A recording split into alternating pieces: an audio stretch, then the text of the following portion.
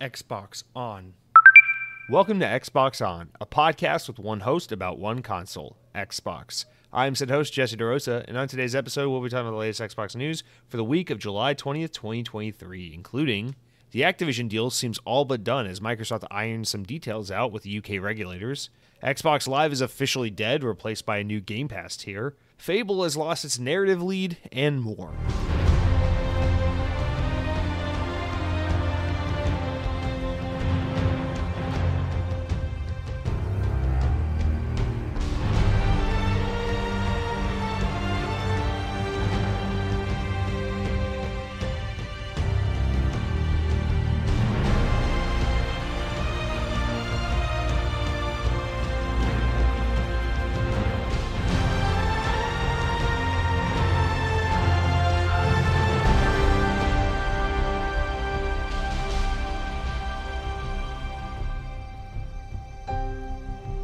This day in Xbox history, in the year 2011, 12 years ago, Bastion was released for the Xbox 360.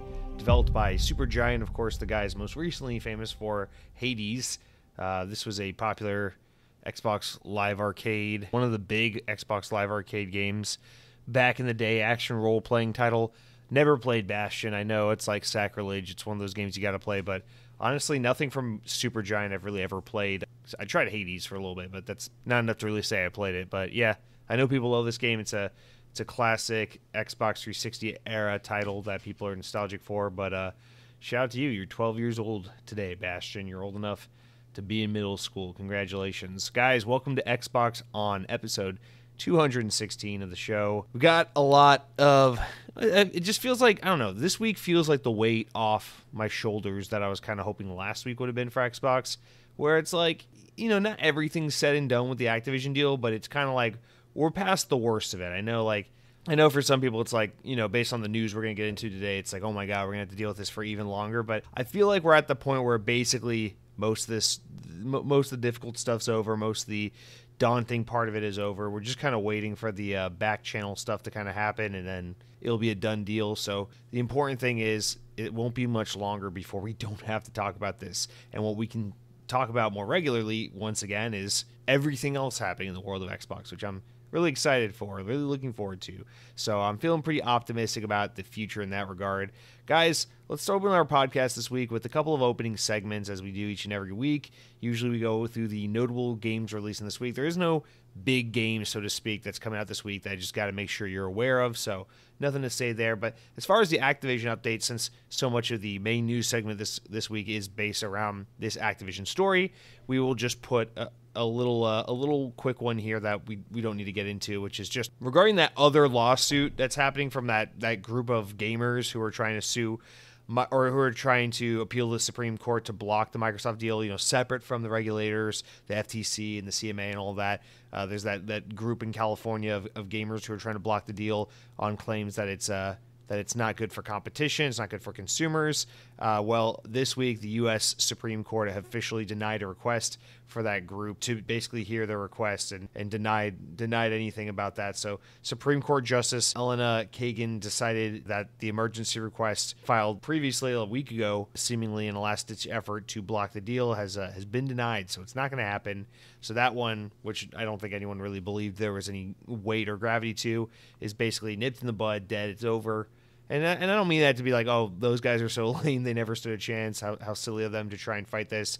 I, I respect and commend a group of people who feel passionately about something and, and want to see change, and so they go after and fight for something. So I, I, I have that respect for that group of people, and I have my concerns and doubts about this deal too. So I don't I don't begrudge this group for fighting against this, but I think we all know there's probably never really much of a fighting chance. Although I do admire their their their, uh, their efforts and their you know where their hearts and heads are at. So that's cool. But that that deal's over, so we don't have to talk about that anymore. It's basically just down to the CMA at this point, and we'll get into all that in the news, including the uh, the deal that Xbox finally got PlayStation to agree to sign to for Call of Duty and all these things. So a little bit some juicy details there, but we'll get into the Activision stuff later. Promise that part will actually be kind of interesting this week as opposed to previous weeks where I'm just droning on and on about what the fuck is happening. And uh, aside from that, we got a lot of other interesting news, including the death of Xbox Live, but we'll get into that in a little while. Guys, talk about our corrections. No, we have no corrections this week, although there is probably something I technically said wrong last week there's nothing to correct, I guess, because I didn't I didn't put any corrections down. Nobody wrote in with a correction, and therefore we get to act like I did absolutely nothing wrong. So that would put us in our main opening segment, if that can even make sense. You know, it's like we have opening segments, we have the main news, we have some closing segments, but of the opening segments, here's our main opening segment, which is the mildly amusing stories, updates to last week's stories, etc., etc. This week, we're going to start off with a little bit of Star Wars news. Bet you weren't expecting that. Ubisoft's discussing Star Wars Outlaws and the size and scope of the game from VGC. Star Wars Outlaws creative director Julian Gerighty Gerighty uh, has revealed fresh details about Ubisoft's recently announced open world game in an interview with the last in the latest issue of Edge magazine via Games Radar. He discussed that the size of the game's in-game planets and how the title's protagonist was influenced by Han Solo, saying, quote, It's a crude analogy, but the size of the planets might be about equivalent to two of the zones in Assassin's Creed Odyssey. Um, it could be about two to three zones, but it's not quite, you know, the sort of epic, the whole of England recreation approach. He clarified, adding that the planets and outlaws will be manageable in size for both players and developers at Ubisoft Massive. Gerighty also reportedly said that planets and locations are being handcrafted, meaning that, quote, we haven't procedurally generated an entire planet at all. Set between the events of The Empire Strikes Back and Return of the Jedi, the game stars outlaw protagonist Kay Vess, Quote, when you think about the scoundrel on your mind, when you think about scoundrels in Star Wars, your mind goes to Han Solo. It goes to Lando, it goes to Indiana Jones, it goes to James Bond, it goes to Captain Jack Sparrow. He doesn't say in Star Wars, he says when you think of scoundrels. So for those wondering why James Bond and Jack Sparrow come to mind when you're thinking about Star Wars, uh, he says when you think of scoundrels. So James Bond, Jack Sparrow, Lando, Han Solo, Indiana Jones. It was a fantasy I connected with the most uh, in the original Star Wars trilogy as a child. I was much, much uh, bigger fan of Han Solo and Chewbacca than any of the others. However, at Massive, they wanted to tell, eh, sorry, they wanted its protagonist to be a little bit more relatable than Harrison Ford's character, more of a rookie, a petty thief who ends up in a situation that's much bigger than they ever expected, he explained. Announced back in June, Star Wars Outlaws is scheduled to release in 2024 for Xbox Series X and S as well as PC eh, via Ubisoft Connect. So yeah, I mean this is uh I'm actually looking forward to this game. We, we talked about when it was announced and showed off a couple, you know, month back. I think this game looks badass. I'm actually a little surprised by how underwhelmed it seems most people reacted to the game. I, I don't see what's not to love. It's it's odd to me because I look at a game like Star Wars Jedi and I'm like, that's fine. I played the first one. I, I have no interest to really go back and play the second one. But then I see a game like this, I'm like, this is a Star Wars game I can get down with. I don't I don't remember the name of it, but there was a Star Wars game on the N64 that I absolutely loved. I'm actually gonna pull this up. So this was a game. Is it Shadow of the Empire? Yeah, it must. It actually must have been this. Yeah, this is a game I used to play back on the N64 that I absolutely loved. And I know like everyone has a favorite old Star Wars game, but I feel like this is one that doesn't get brought up enough. And I don't know if this was technically considered a bad Star Wars game or a good one. And God knows I haven't played this game since I was like nine years old. So who knows if it was ever actually good. But you played as like knockoff Han Solo in this game. And I just remember really loving this game as a child and keeping in mind that as a kid, I didn't care for Star Wars at all. I didn't watch the movies. My brothers liked them a lot. I never had any interest in Star Wars whatsoever, but for some reason this one game spoke to me, so I went and picked it up at Rhino's Games when I was like 8 or 9 years old and I played the hell out of this game and it was just always like I just remember being like knock off Han Solo the video game, but I just I don't know, I just loved it. I love the gunslinging, I love the Star Wars aesthetic, but it being like a shooting game and not having like the magic powers and the swords and everything that that the other Star Wars games had. And I just I always kind of dug this. So I feel like this is in a weird way, even though it's very removed and technically the game is, you know, Star Wars Outlaws is nothing like a spiritual successor to this game. In a weird way, this kind of feels like we're getting some of the magic young Jesse experience playing Star Wars Shadow of the Empire recreated in Star Wars Outlaw, where it's like a game focused on being a bounty hunter, being a gunslinger in the Star Wars universe, kind of set in the old era of Star Wars that everyone, you know, that the longtime Star Wars fans all seem to yearn for. And I just, I don't know, it just seems like kind of exciting. And then throwing a little bit of that GTA flavor with the open world stuff and being able to like hijack vehicles and then fly from planet to planet.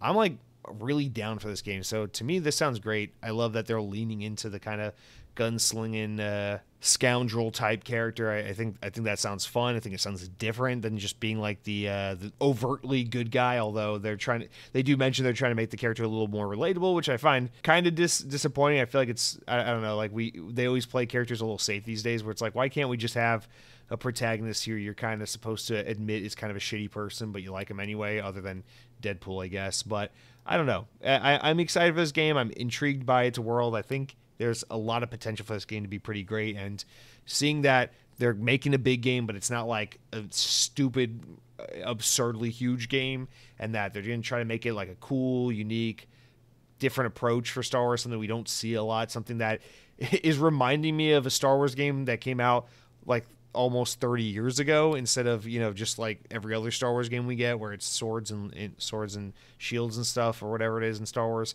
I don't know. I feel like this is unique. It's a breath of fresh air, and the game sounds exciting. I'm just I don't. I'm really open minded to Star Wars Outlaws definitely, definitely want to give that game a go when it comes out next year. As for what's next, let's talk about a little bit of Call of Duty. Call of Duty is going to come up a couple times in the show this week. I mean, it has to. We're going to talk about Activision and the Microsoft deal, and then there's actual Call of Duty news in the week uh, in the news, which we're about to get into, and then there's some other Call of Duty stuff we got to bring up. So if you hate Call of Duty, I'm sorry.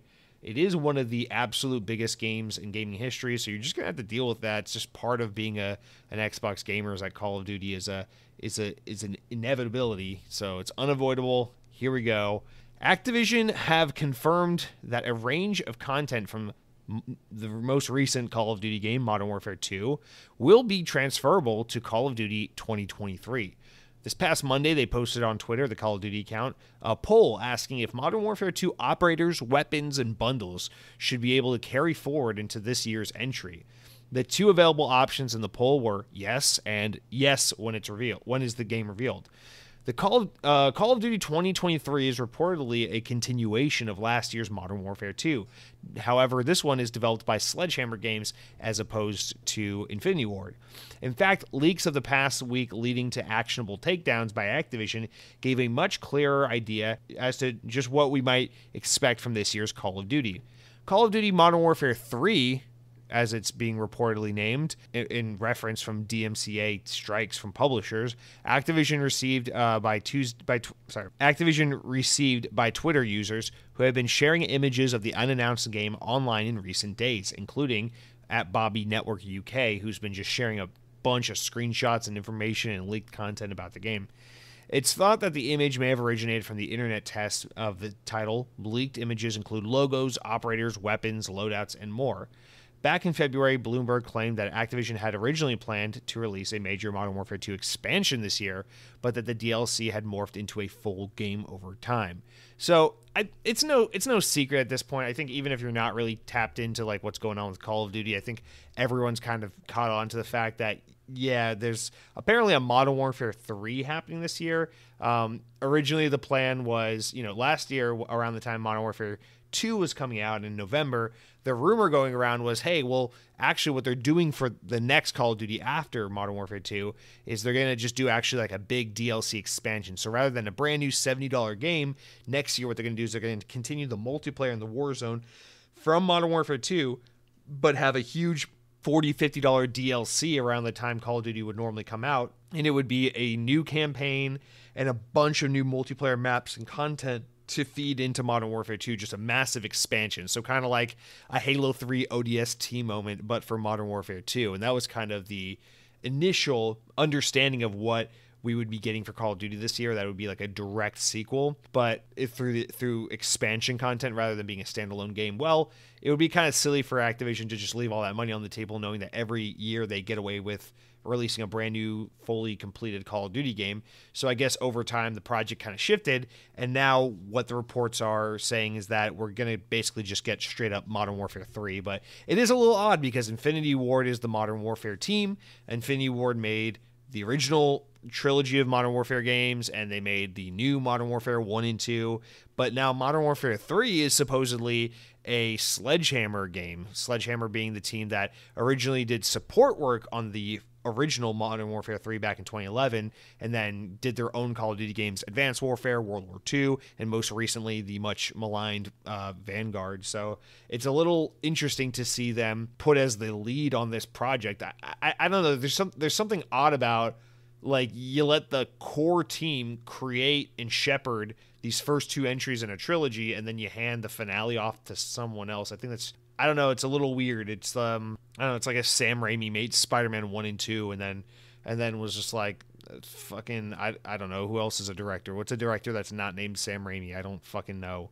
Uh, but it's hey, not Sam Raimi. Here you go. Can you make Spider-Man 3 for me? It's just I don't know. It's a it's a weird it's a weird. I almost said, what if Sam Raimi gave uh, the guy that makes the Evil Dead movies the the the reins to Spider Man Three, and then I realized, oh, that's the same director. Uh, but uh, anyway, I don't know. It it just almost be like George Lucas. Uh, well, actually, it's not fair because George Lucas didn't make all the old Star Wars movies, so I don't really have a good example. Uh, that's just goes to show how limited my knowledge of film is. But it, it's it's weird to me that Activision is going to build, do the, the, part one of the story and then build it further in part two and then hand the keys to a completely different team to finish up their story. So I almost wonder if what's happening is Infinity Ward is making the campaign to this, but Sledgehammer has been put on duty to do support work and then handle the multiplayer component because what they're making isn't actually like a full blown brand new top to bottom Call of Duty game. It's essentially just a bunch of expansion content being packaged and sold as an independent game that also reads data off of and plays into your Modern Warfare 2 save file and purchases and progression and all of that. So it seems like that's really what we're getting here is this year's Call of Duty is just going to be some weird Frankenstein game between Sledgehammer and Infinity Ward, which is kind of fitting because that's kind of what the original Modern Warfare 3 was. And it's just going to be some glorified standalone expansion sold as a sequel. Uh, but it just, yeah, all your progress and guns and characters and purchases carry over from Modern Warfare 2 to Modern Warfare 3. I don't know. I would like to see them still kind of bleed together the multiplayers of both games because I think that'd be awesome if it's just you could have all the new multiplayer content coming out this year in addition to all the content from last year and just have one massive multiplayer suite. I think that'd be really cool. That's why I want more of a uh, Halo Halo ODST style approach to this. But we'll have to wait and see. The game is set to be announced. You know, they haven't said anything officially, Activision. Um, but the you know, if history is any indication, and if the rumors are to be believed, and so far the rumors have been pretty accurate about everything, uh, this game should be announced announced in an in-game Warzone event in in uh, August. So probably we're probably about three weeks away or so, three or four weeks away from getting a proper reveal for this game and I bet it is a Modern Warfare 3. So it's kind of weird that's happening this way. I, I quite enjoy this new Modern Warfare series they're doing, the campaigns. I think the campaigns have been pretty fucking awesome. So I'm a little apprehensive about this because I thought Modern Warfare 1 and Modern Warfare 2 and the raids in Modern Warfare 2 have had just really cool characters, really cool story moments, and I'm worried because I don't trust Sledgehammer to make as good of a campaign, as good of a story. I'm worried about them finishing off the story with Modern Warfare 3 because that would kind of suck. Um, if they just, I don't know, if they just take their. I don't. Let's put it this way: Call of Duty Vanguard had possibly the lamest set of characters ever in a Call of Duty game, and that campaign suffered greatly because of its dog shit characters. So I would really hate for the the the masterminds behind that to be in charge of uh, bringing the Modern Warfare 2 story to the finish line because Modern Warfare 2 has such a cool campaign and a cool cast of characters. But then again, I'm also thinking too much in the um there's one last thing I'll say and we can move on. I, am also thinking too much in the archetypal framework of what they've done in the past, whereas like, oh yeah, they made a Modern Warfare 1, 2, and 3, and then they moved on. So that's what they're doing here. They're making Modern Warfare 1, 2, and 3. Although what's probably a lot more likely because the whole point of this Modern Warfare 2019 kind of reboot on the Call of Duty universe was probably a way to start from scratch and be like, why would we move on from Modern Warfare when we could just keep it going forever? We could do what Black Ops does, where Black Ops didn't end after Black Ops 3. Black Ops just kept going. It was World at War, then Black Ops, then Black Ops 2, 3, 4, eh, Cold War, you know, the next one's Black Ops 5 or whatever. Like, they can just keep going and going and going we should do that with Modern Warfare because I think that is probably ultimately the plan. Because if you think about it, Infinity Ward didn't have success after Modern Warfare. They did Modern Warfare 1, 2, and 3. And then Ghosts didn't do as well, and nobody really liked Infinite Warfare. So it the whole point of this kind of rebooting the Modern Warfare universe is probably to build out a bigger universe so that they can do Modern Warfare 1, 2, 3, 4, 5, et cetera, et cetera, et cetera. You know, do it as long as it will as the market will sustain that universe is probably the deal. So I I keep thinking this confined way of how it was in the past, where I'm like, okay, they did three Modern Warfares back in the day, which means this Modern Warfare three should be the last one. But this will probably just be yet another entry in the Modern Warfare series. You know, if Activision were smart, because otherwise, what do you do? You put you put Infinity Ward back in the same predicament they were in back when Call of Duty Ghosts and Infinite Warfare came out, where it's like, okay, you done with Modern Warfare. Those were really popular. They sold really well. People really liked them. Now what do you do? and uh, so I, I, don't know. We'll, we'll, have to wait and see. A couple weeks away from finding out. But uh, that's yeah, that's uh, what's going on with uh, this year's Call of Duty. Because as we all know, there are only three things that are given in this life. It is li- in, in, in this world, I should say. It is life. It is death and it is Call of Duty releasing annually. So moving on, we'll get back to Call of Duty in a little while. But let's talk a little bit about uh, loot boxes, something that I feel like we don't really doesn't really come up anymore in the in the you know in the, in the, discussion of video games these days. It's not really much of a thing these days. But the UK games industry has revealed plans to restrict access to loot boxes for under 18 year olds. UK games industry uh, body Ukie has published a new set of principles that it says will leave room for the industry to self regulate. Principles surrounding loot boxes in video games are recommended by the Technical Working Group. The Technical Working Group was convened by the Department of Culture, Media, and Sports. Quote, We've been clear that video games need to do more to protect children and adults from the harms associated with loot boxes, said the Minister of Creative Industries, John Whitting, Whittingdale. Whittingdale. Uh, these new principles are a big step forward to make sure that players can enjoy video games responsibly and safely. I look forward to seeing game companies put the plans into action, and I'll be watching their progress closely. Weird. Uh, the first of these is to push the use of parental controls into an effective restriction that uh, effectively restrict the purchase of loot boxes for any user under 18. These parental controls vary by platform, and it's argued that there aren't as that they aren't as prominent as they should be and are too uh, simple to circumvent. This task will be achieved by a public information campaign, which will share best practices with parents and guardians who may be unaware of loot boxes or the parent uh, control that are available to them in their child's console. Ukie also outlines game companies that must show probabilities of the content of loot boxes ahead of purchase.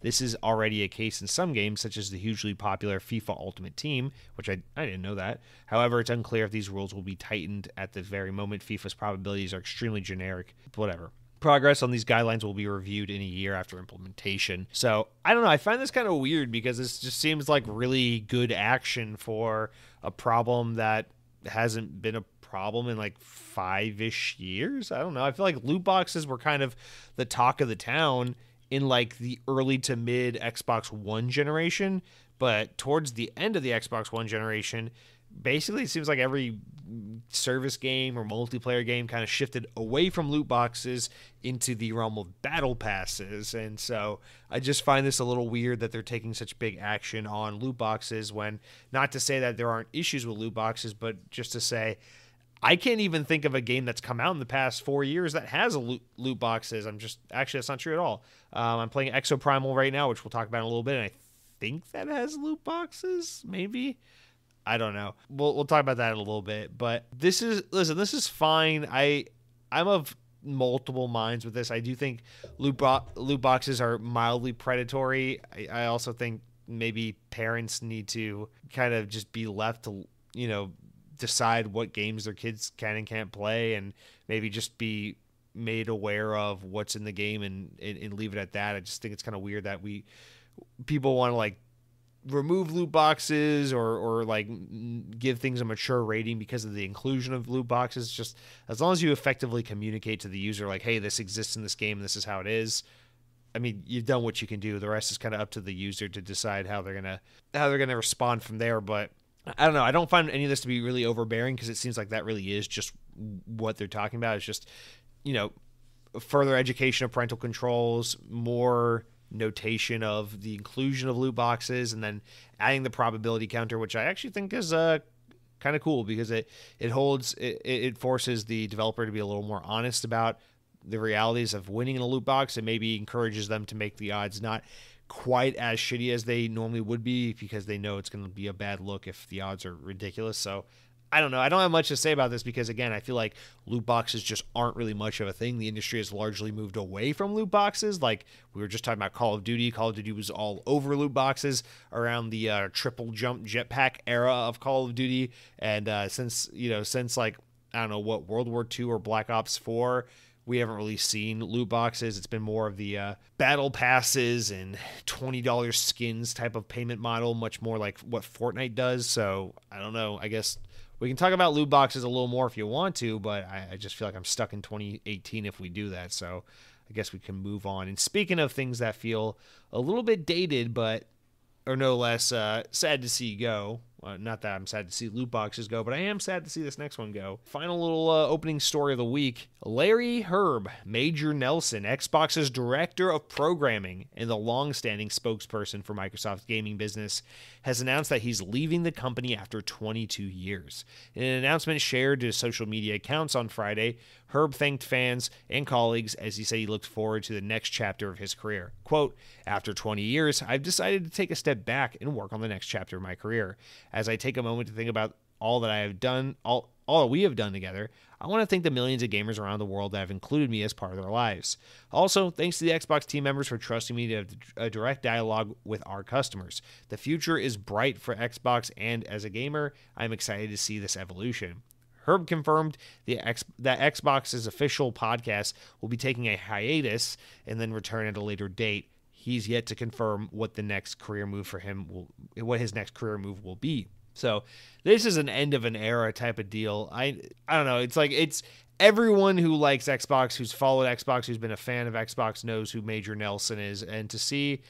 I don't know. to see that he's uh, walking away and he's he's moving on to something else in his life you know, it's like a simultaneous, like, good for you. Hope you find happiness, and that your next, you know, your next move is something that's more fulfilling or better suits you at this stage in your life or whatever the fuck, you know. But man, that's a that's a big and that's a big end of an era, and we have two of these this week. It's kind of a, a double stinger this week, where we got this, and then we got some Xbox Live news in a little bit, where it just feels like I don't know, Larry Hryb was big part of the Xbox 360 days. I mean, he's been there since basically the beginning of Xbox, but he's a huge part of the Xbox 360 into the Xbox One years.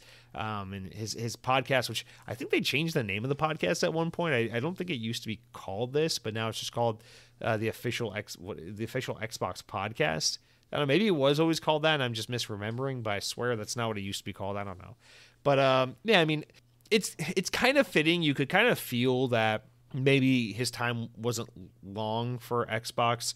Uh, I was actually thinking about Major Nelson recently. It kind of briefly came to my head when I was thinking about kind of the influencer influencer. Uh, so what am I? Speak English, Jesse. The influencer kind of nature of a lot of the executives at Xbox and how the Aaron Greenbergs and the Phil Spencers and the Sarah Bonds of the world have kind of taken over, you know, these these executives, these corporate type figures that have had this kind of influencer type spokesperson role for the company and kind of become mascots for the Xbox brand and how they're so relevant and popular. But Xbox has always had someone someone like this with with Major Nelson and how it just feels like in recent years Major Nelson's kind of been pushed to the pushed to the side a little bit. Like his his persona, his character, his little influencer kind of thing that he's got going on for the Xbox brand hasn't been as impactful or notable, you know, in the face of these other more actively like involved like um type executive people like Phil Spencer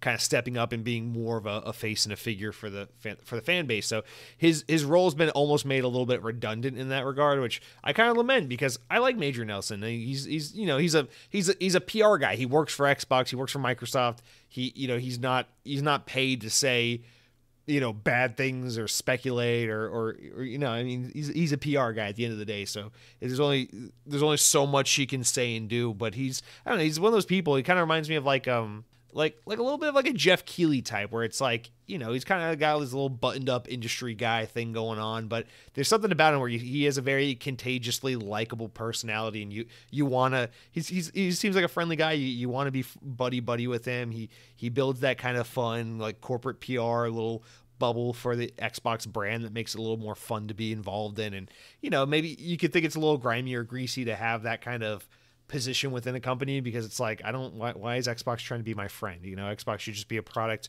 that I engage with because they have games I want to play. But you know, I, sometimes sometimes the marketing works, and, and Major Nelson's just one of those people where it's like I've always just thought he seems like a cool guy. I like I like this guy. I like having him around. He's he's fun for the brand. He's fun for the community.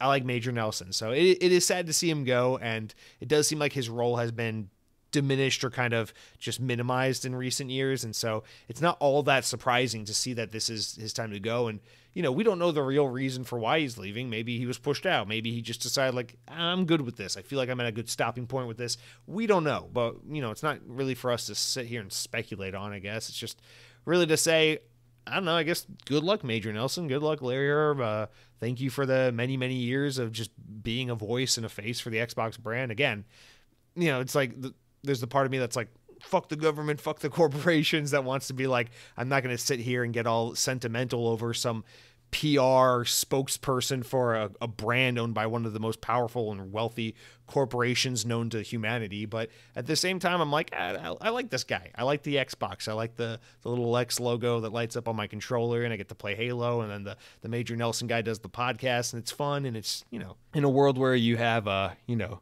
YouTube celebrities who got wealthy and famous for being, you know, egregiously not funny, making ukulele apology songs for preying on underage boys, you know, and people like that becoming wealthy and famous. In a world where things like that are allowed to happen and exist, it's just, you know, there's something kind of cozy and comforting about knowing that there's guys out there like Major Nelson. We can all just live in our little bubbles and just for for maybe a moment pretend like uh like uh like all the other bullshit doesn't happen and we can just and just enjoy our, our Halo 3 and things like that. So, Major Nelson, a, a, major salute to you, sir. Good luck on whatever's next. Thank you for the many, many years of uh, entertainment and, and, and camaraderie and fun. Not that I knew you personally, but uh, again, you just always seemed like a cool guy. So, end of an era there. And then we've got another one to talk about when we get to the main news, but we'll we'll take a stop there. We'll uh before we get into the main news, we'll talk about the games I've been playing this week cuz I want to talk to you a little bit about Exoprimal. But before I can tell you about what I've been playing, I do want to first tell you briefly about what I've been eating. You guys, I'm a little surprised we've made it over 200 episodes of Xbox On and never once have we talked about build your own pizzas. Now, this is a, a restaurant concept, the quick service type eatery concept that has been, I'd say, pretty prominent, at least here in America, for over a decade, I'd say, probably longer, but in terms of, you know, like coming up in, in Georgia, uh, I, I feel like this is something that you really start to see these kinds of chain build your own pizza type places pop up around and maybe like the early 2010s or so. And uh, I feel like that popularity has maybe peaked a little bit, but these places are still mostly around. I'm talking about your mod pizzas, your Mamma Mia custom pizza. I, I actually don't know what that other one's called. I know there's MOD or mod pizza. I know there's Blaze. I know there's one that's like something about Mamma Mia, but then there's also probably like 800,000 knockoff New York pizza place called Mamma Mia's. Either way, I want to talk about that a little bit today because um, it's been a while since I've been to one of these places, and this past week, weekend, Friday, whatever, last week Friday, my girlfriend and I are uh, on our on a, a rare Friday night where we get to actually go out and do something. And so we go to see the new Mission Impossible movie. Very excited about this. We got the $5 T-Mobile Tuesday ticket, so I get to see the brand new Mission Impossible movie. I'm ready for some dumb action. I'm ready to have a good time. And we decide to uh, go to the Blaze Pizza over at Disney Springs real quick for some dinner before we head over there. We're trying to make it a budget date night. We got the $5 tickets, we got the build your own $10 pizza. Why not? So it's been a long, long time since I've been to a Blaze Pizza, and I remember being like, "This place is good, but it's nothing I, I like. I need to have in my life again." And so you know, I'm excited to kind of give it a uh, give it a go, considering I haven't had Blaze Pizza in maybe five or six years. And uh, you know what? I got I got to sing the praises of Blaze Pizza in these various kind of build your own pizza places. So for those who aren't extremely familiar with the concept, although I assume these kinds of places are at least all over North America, but who knows? Maybe they've expanded into other other uh, markets around the world. But uh, basically, the, the crux of these these places is it's like it's kind of like a quick service type, like like a burrito place or like a Chipotle style restaurant where you know you uh you walk in there and you you fucking tell them, oh, I want, I'll get a pizza, and they're like, okay, pick your pick your crust. You're like, okay, I'll get regular or rising or gluten free or whatever, and then it's like pick your sauce, and they got a bunch of sauces. You pick your sauce, they slap, and they they got like these little 10 inch personal, 10, 11 inch personal pizzas, just kind of the doughs are like pretty stretched out for you. You pick your dough, you pick your sauce, you pick your cheese blends, you pick your toppings, and then they like put your number on it, throw it in a in a pizza fire brick oven 90 cents 90 seconds in in the in the flames and then boom you got a fresh hot pizza ready for you customized just the way you want it and they're all personal size so it's kind of fun it's like uh you know instead of getting like a huge ass pizza to share with your family or friends you just everyone gets these own little like uh, 10 inch personal size pizzas so I, I like it it's a fun idea and so I'm trying to get really creative with it. I think I kind of fucked mine up a little bit. I think I went a little too hard with mine. I did I did regular crust, I did light red sauce, and then I did a blend of mozzarella and ricotta. I don't know why the fuck I wanted ricotta, but I did a blend of mozzarella and the ricotta, and then I got on top of it a little bit of grilled chicken, just a just a, a little a little touch of bacon, and then I loaded it with onions, green bell peppers, basil leaves, cherry tomatoes. What else we put in there? We put some oregano, some salt and pepper, and then oh, roasted garlic and then they they throw that sucker in the flames for 90 seconds, pull that bitch out, and then they hit it with a with a pesto a pesto glaze on top, like a pesto drizzle on top. So it was a very overwhelming amount of flavors, but you know it's ten dollars. It's an experiment gone wild. I'm ready to try it. It was okay. It wasn't bad. It, it was you know it was just so much going on on that pizza, but it was fun. You know, you got the fucking the tomatoes were all blistered, the basil's like baked in there, so you got that strong basil flavor, and it's, it's delicious, and a lot of that roasted garlic. It was it was very good pizza, and I enjoyed it quite a bit. And uh, I just I don't know, it's like my, I guess my takeaway is like Blaze Pizza, these mo mod pizza, these various kinds of pizza places where you where it's like a you know these little quick service personal pizzas where you get to customize them. They're not particularly excellent pizzas, but you know, it's like you always say about pizza. When it's when it's when it's good, it's great. When it's when it's bad, it's good. It's you know, it's always serviceable.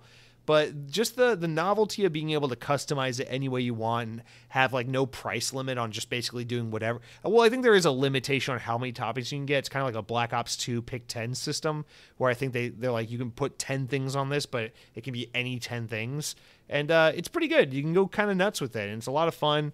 And uh, I don't know. I just feel like this is a very the novelty of this concept to me hasn't worn off. I still think it's very unique. It's very creative. It's very fun. It was fucking crazy packed when we went there. So clearly, there's still a huge market that's in, that's out there enjoying this. But then again, in Florida, especially Orlando, everything is busy all the time, forever and always. Without, I mean, I haven't been to a place that isn't anything less than overcrowded since the day I moved to Florida. Let me tell you, everything here is just so goddamn busy all the time. But uh, yeah, I mean, shout out to Blaze Pizza.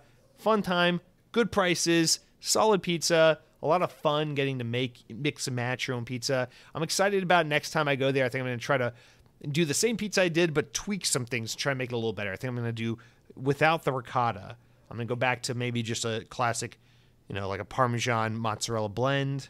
Maybe take out the bacon and then, yeah, just try, try a couple different things. But overall, pretty fun place. Let me know. Have you ever been to a Blaze Pizza or something like a Blaze Pizza where you get to build your? I know there's damn. I know there's another chain like that I've been to. I just don't remember the name of it. it Doesn't matter. Shout out to Blaze Pizza. build your own pizza, pizza, pizza, Little Caesars Pizza. You know all about it. That's it for what I've been playing, guys. Now we move on to the what I've been. No, that's it for what I've been eating. Now we move on to the what I've been playing, which is Exoprimal. You guys, it came out on Game Pass last week. Brand new. Capcom game that no one was really hyped about. It looked kind of like the only Capcom game in recent history to not be all that interesting, but nonetheless, it happened. It's here. I've played it. I gotta say, I I think I like Exoprimal.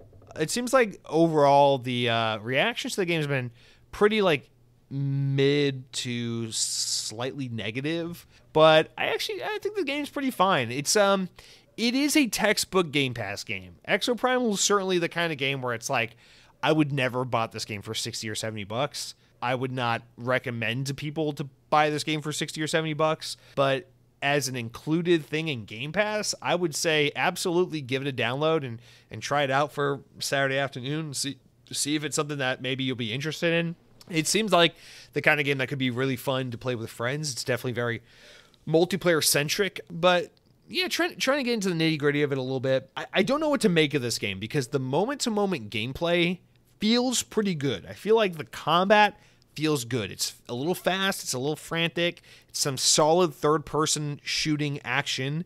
You get a bunch of different abilities. Every kind of uh, armor class comes with different kinds of skills and benefits and abilities and things like that.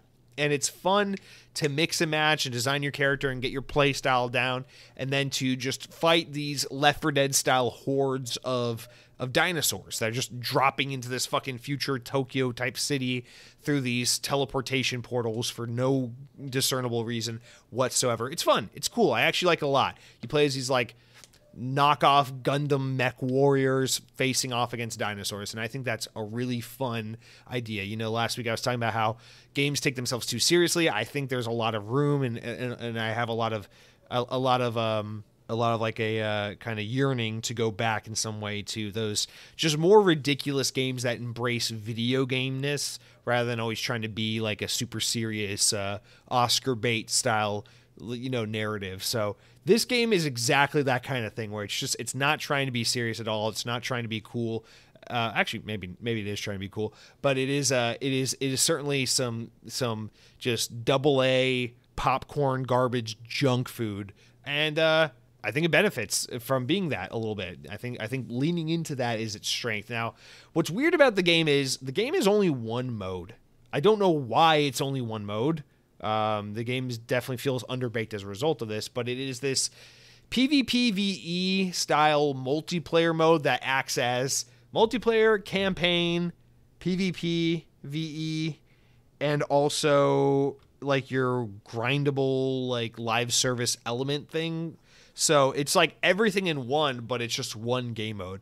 And so right off the bat, the game has a severe shortage of replayability just by way of not having enough variety of game to play. Like there's there needs to be more modes. Because while the core gameplay loop is solid and it's a decent amount of fun, it's just not, you know, this one core gameplay mode is just not enough to carry an entire game's worth of this is where it comes in where I, I could not recommend this game for full price. Like if you were going to buy this game for 60 bucks or whatever, I could not recommend with the amount of limited content it has, could not recommend this game for that much money because it gets old fast. I'll, I'll be honest. Um, it, it's weird. It's like the game mode is like there's two teams of four and you have these objectives, but the objectives mostly just boil down to follow the objective to the next area, fight a bunch of hordes of dinosaurs, move on to the next objective. But the catch is it's kind of like that gambit mode from Destiny, where it's like everything you're doing, the enemy team is also doing. And so it's kind of a race to see which team can get through all the objectives fastest.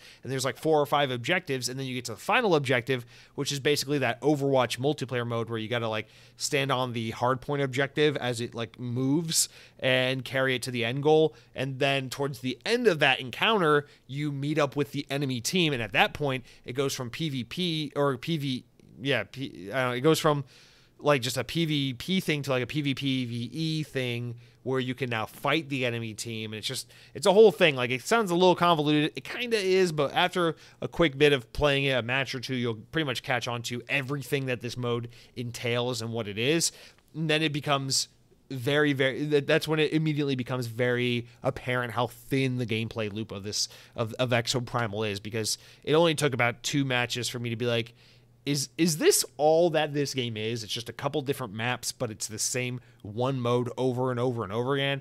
And the answer is yes, that that is what it is. And, and the campaign's weird as hell. Like there's cutscenes, but it's like you you play a couple of matches of the online mode and then it lets you unlock a new cutscene. So you go into the world map and you select a new objective to see a new cutscene and then you go back into the multiplayer play more multiplayer to then unlock the next cutscene. So the campaign aspect is kind of entirely arbitrary. The characters are lame. It's super cringy. The game the game feels Japanese as hell once the cutscenes are happening because everyone's just fucking weird and cringe in, in, in anime. And so I just started after like the third cutscene. I was like, you know what? Fuck this. I'm just skipping through the cutscenes. Don't care about this. And also, the game just has a super awkward, overly long intro where the game just tries to, again, do that Japanese thing where it's like, let me show you every menu option, every control option, every little ounce of what this game has to offer so that you 100% know what you're getting into once we let you loose. But the problem with doing that in a game is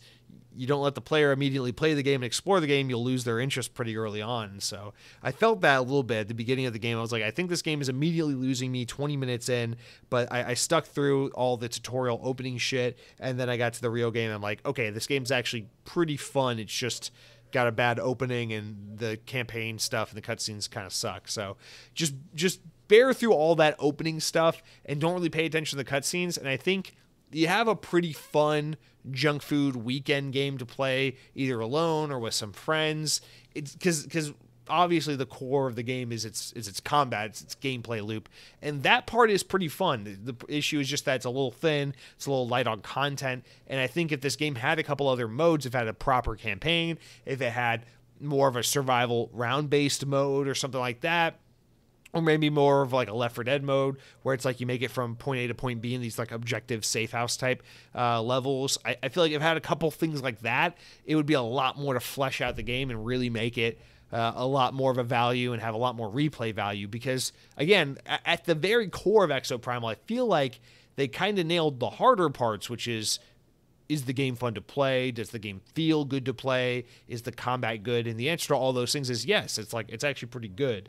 But um, yeah, I mean, the menus are convoluted, the story is lame, the intro's a little long in the tooth. That stuff's not great, and there's not enough variety of the gameplay. So it, it ends up making it a really fun, dumb Game Pass weekend game, but not a very good game that I would recommend. Go out there and spend your hard earned cash on picking this game up. And so, yeah, it's very much a Game Pass game. Uh, it, continuing that trend where a lot of these non Xbox first party kind of day one Game Pass games end up being these kinds of things where it's like, yeah, I, I wouldn't necessarily recommend this to most people, or it has a very A or double A kind of budgety feel to it, or feels like a game that the publisher wasn't totally confident would do well. And we see that a lot, you know, and, and I don't mean that to the detriment of these games because some of these games I love. Like, I liked Atomic Heart a lot earlier this year. You know, Like, I, I love Outriders uh, when that came out two years ago. I think these games are great. Day one Game Pass games, what excellent value to a player like me. But Exoprimal, is a perfect example of a game where it's like, yeah, the reason this is a day one Game Pass game is because Capcom did not have confidence in this game whatsoever. But um, it, it definitely shows when you play the game, but also it's definitely a pretty fun time if you're not paying anything extra to get access to it, which is the case if you are already a Game Pass subscriber and you want to try something new. Um, that being said, I, I this game's got to go free to play at one point. At some point, you know, I'm thinking about like if you're a PlayStation 5 player, you don't have an Xbox, and you're interested in Exoprimal. I really hope you don't accidentally waste your money on this game. Uh, th- this game feels like it should be free to play, and that that's in- increasingly apparent with it's kind of aggressive uh, season pass model where you, it has the season pass you can grind through. And then in addition to that it has loot crates. Although i can't tell if it's possible to buy or redeem to get you know with real world currency in any way loot boxes or if they're just unlocked in the game exclusively like in-game currency only. I've gotten a couple of them but again i've only played like two hours of the game and i haven't completely made sense of all the convoluted menus and options and features of the game to speak authoritatively on how this works. But it seems like there is some kind of loot box or loot box adjacent uh, mechanic to this game. Although I don't know if there's a way to spend real world money on it, but overall, that's that's Exoprimal. It, it may have sounded like I was pretty sour on it, like I was pretty down on it. But again, I'm, I'm going to say if you have Game Pass, I think this game is 100% worth a download to just try out a little bit because once you make it past that kind of boring intro and tutorial, the core gameplay loop is a lot of fun. It, it, it wears thin real fast. I don't think it's it, it, it's to stay fresh and exciting to play for long. It kind of reminds me of um kind of reminds me of that um Turtle Rock developed early Xbox One game Evolve. It reminds me of Evolve a little bit, not because it feels or plays or is like Evolve in its gameplay because it's not at all, but Evolve was very much a game like this where it was like the core gameplay is pretty fun, but for $60, this game is definitely lacking. It's definitely not sticky enough to to to make you want to spend 60 bucks and hang around for 30, 40, 50 hours. It's not it's not good enough for what they're asking. That's kind of how I feel about Exoprimal, but the difference is a game like Evolve came out before Game Pass existed. There's no option other than to buy it and be disappointed. Whereas a game like Exoprimal, you don't have to be disappointed because you can just try it included in your Game Pass subscription for no added cost, have your fun with it for a couple hours or a weekend, and then say, yeah, there's a lot of room for improvement, but I'm satisfied with the uh, 10 to 20 hours I got out of it, and uh, now I'm going to move on with my life. So that's kind of where I am with Exoprimal. I've only played maybe a total of two, three hours of the game. I plan on coming back this weekend and playing more because I, I liked it enough that I want to play more and want to see more of it. So I think that should speak a little bit to uh, it being not a bad game. But the reason I didn't play more of it this weekend wasn't because I was at Disney World or too busy shaving my cat's fur or something like that. It was because there was another game, a very unexpected game that distracted me and pulled me away from Exoprimal. It pulled me away from Persona 5. It pulled me away from every other game I could have been playing. And I would have never guessed if you told me in the days leading up to the, this past weekend that this was the game I'd be addicted to helplessly this weekend, I'd say, You're stupid. You have a dumb brain. But I don't say that to you because the truth of the matter is, I was hardcore addicted all weekend to playing 2012's Call of Duty Black Ops 2. That's right. It's the second time we got to bring up Call of Duty this week because I guess we'll put it here. But a big story that's happening in the world of Xbox this week is out of nowhere, Activision had a big update for all of their old Call of Duty games. Everything from Call of Duty 4 Modern Warfare back in 2007 all through up up through the newer games like Black Ops Cold War where they went back and they fixed all of these old Call of Duty games that have had matchmaking and server problems. Now, there are some rumors, some people saying, "Oh, actually it's a it's a Xbox Xbox did it. Microsoft fixed it on their end. These are server issues that Xbox fixed on behalf of Activision." It's like, I don't think that's possible or true, but just to put it out there, that's what, a thing people are saying. I, I don't think there's any weight to that. I think people are just being stupid. I don't I don't know. People immediately assume that Xbox is like got their hands all over COD and they haven't even closed this deal yet. That's not how that works. But regardless, that's not important.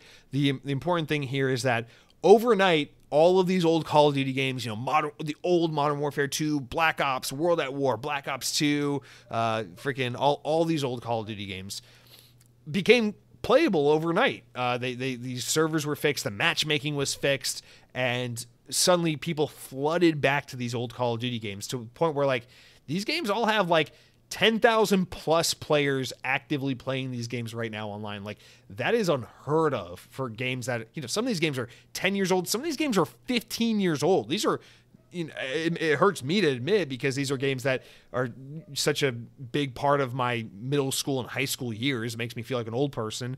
But like these games are not new. These games are like 15 years old. These games are these games are boomer games basically by uh, by today's kids standards. So regardless, when I found out this was happening, I was like, no.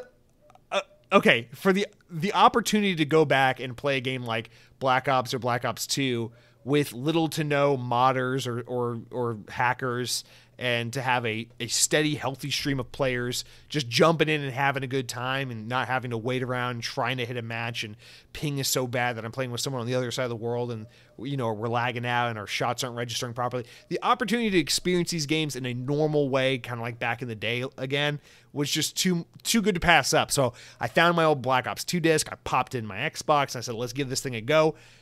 I get on there, there's over there's almost 13,000 people online. There's well over 12,000 people online on Black Ops 2 when I did this. I'm like, are you fucking kidding me? Like there's enough people online to where I have options. Like it's not like I can only play team deathmatch. It's like I can play domination, I can play control, I can play free for all, I can play gun game, I can play all these modes. I couldn't get into capture the flag. I tried that. That, that didn't work. I missed capture the flag. But anyway, uh, yeah. So I, I've been playing Black Ops 2 on my Xbox 360, or well, on my Xbox Series X, but it's an Xbox 360 game. All, all weekend like crazy. And uh, Black Ops 2 is is is kind of like uh, the uh, the the what could have been for me with Call of Duty because it's the one where it came out at a bad time. I didn't have a lot of like interest in it. I was kind of going through like an emo phase, and I ended up buying it on the Wii U as a launch game for the Wii U. and I remember being like, this game kind of sucks because the zombies sucked because the Wii U version didn't get DLC. And it was only years and years later that I came back way after the game's life cycle where I came back and I realized this game's actually awesome I was just too much of a emo freak at the time to appreciate it, and I purchased it on the wrong console, so I never got to experience all the awesome DLC this game had. So it, it took me many years to go back and get to experience how great Black Ops 2 was, but I always kind of lament that I didn't get the full experience because I wasn't on Xbox playing it. I was playing it on Wii U like a fucking idiot, trying to justify Nintendo's not great console at the time, even though I technically like the Wii U. Side that's that's a tangent. The point is, it was just a lot of fun this weekend to go back and be like, fuck yeah, because like my Xbox profile, I'm not very leveled up or grinded on this game so like it just kind of felt like a from scratch experience going back experiencing black ops 2 going through the ranks unlocking the camos and the gun attachments and building out my classes and experiencing all the DLC. It, it, it's it's super fun. It was just it's been a really good time. So I've been playing a lot of Black Ops 2. I'm probably gonna try to get a little bit more of it in. Uh, I don't know how much longer this is gonna last before either the player bases start to drop off a little bit and the kind of novelty of this wears off, or whatever's gonna happen. I don't know. Um, you know, everyone thought, oh, th- these games are gonna be littered with hackers, and man, there have been very few games I've had to back out of because hackers. Like maybe two or three. I played like five hours of Black Ops 2 this weekend, and I maybe had to back out of two or three matches due to hackers. Like that's how that's how like naturally uh, populated these servers are right now, and it's fucking cool. I need to go back and play like World at War or something, but yeah, so shout out to that. Apparently, like their report, and it's hard to say because it's a lot of like Twitter reporting where people are just making shit up and people are being stupid. But there are people saying that like right now Xbox is is selling well right now on and like Amazon and at like retailers because people are going back trying to get their hands on Xboxes so they can go play these old Call of Duties.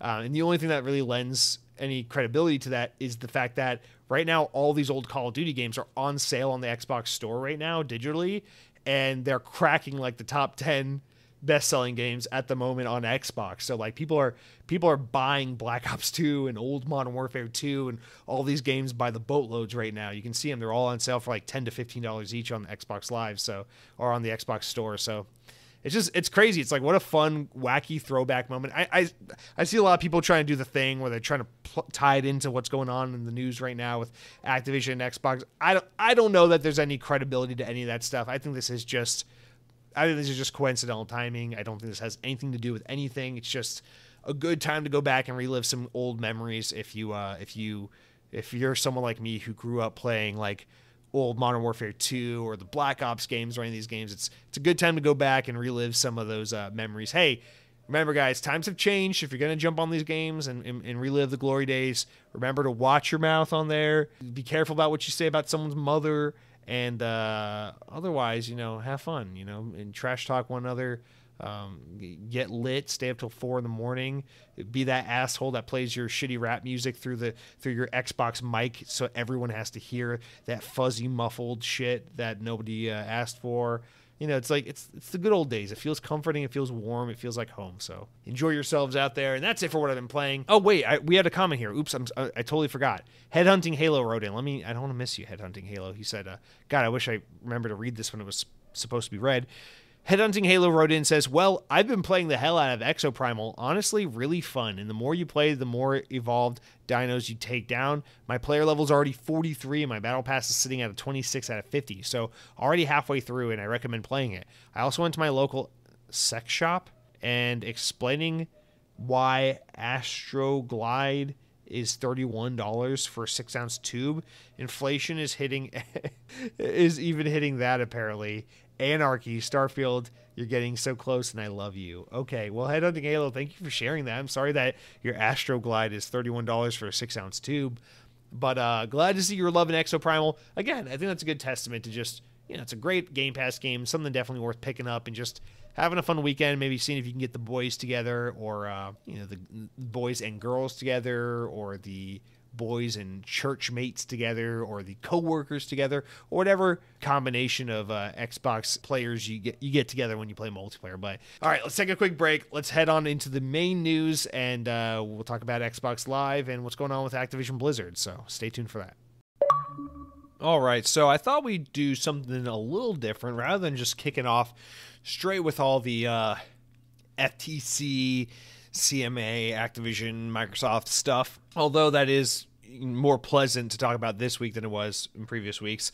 Uh, I thought we'd kick off with the other big news story this week because I don't know. It's it's maybe not as important technically, but it's it's I think it's a more interesting story to talk about, and it's a nice nice breath of fresh air from um, all the acquisition and merger stuff. It's a, a nice little something to talk about the history of Xbox and something that's changing, and I don't know, remembering Xbox Live. So let's just jump right into it. From VGC, Microsoft have announced plans to replace its long-running Xbox Live Gold subscription service with a new Xbox Game Pass membership tier. Beginning on September 14th, Xbox Live Gold will become Xbox Game Pass Core, priced at $9.99 per month the same price as Xbox Live Gold, or $60 per year, it will offer subscribers access to Xbox multiplayer gaming, a library of over 25 games, and exclusive member deals. Quote, Our launch collection of more than 25 titles from Xbox Game Studios, Bethesda, and our content partners will offer something for everyone to play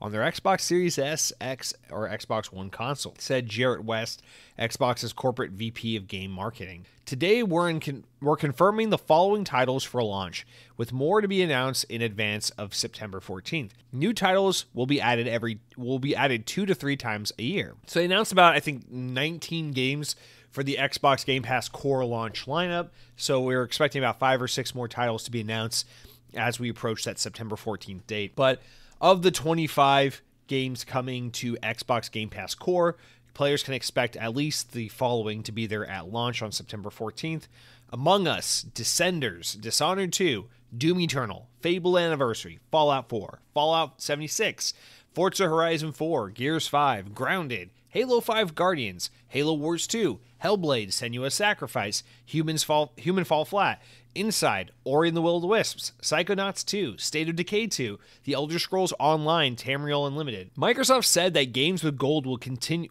Microsoft said that games with gold will come to an end on September 1st.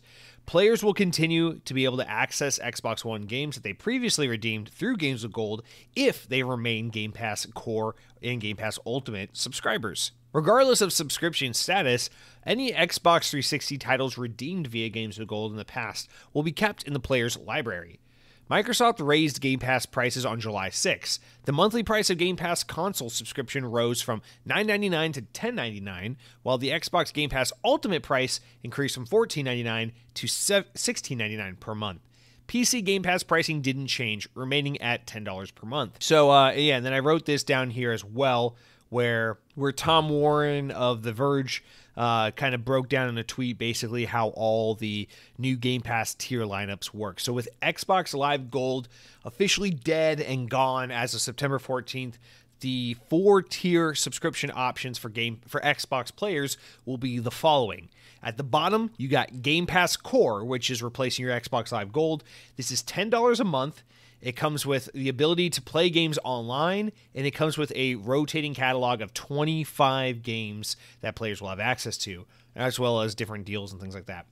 The second tier, the next tier up, is $1 more. It's called Game Pass Console. This is just your regular core Game Pass. It's what we've already had but it's $10 a month. It's $11 a month. Comes with the Game Pass library, so hundreds of games included via Game Pass. However, it does not include multiplayer. So this is no multiplayer, $10 uh, $11 a month. Then the next tier up or not up, but rather the other option is just PC Game Pass in the similar price range. So it's ten dollars a month for PC Game Pass. That stays exactly the same as it's been. It's just ten dollars a month Game Pass on PC.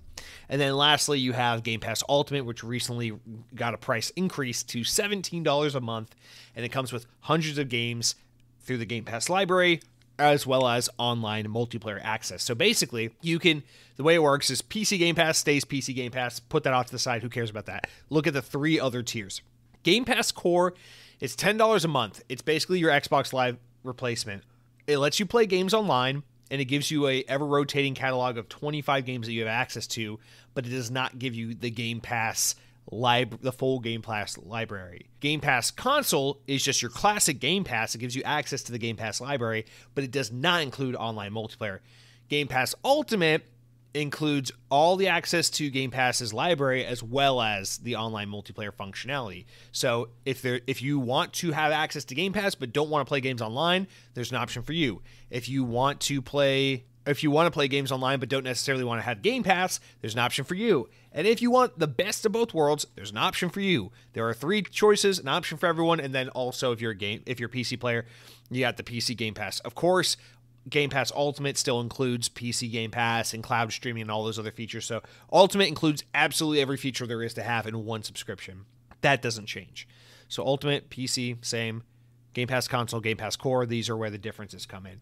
So I wrote a lot I saw a lot of consternation surrounding this. First of all, I want I want I want to let's not separate from the noise a little too much.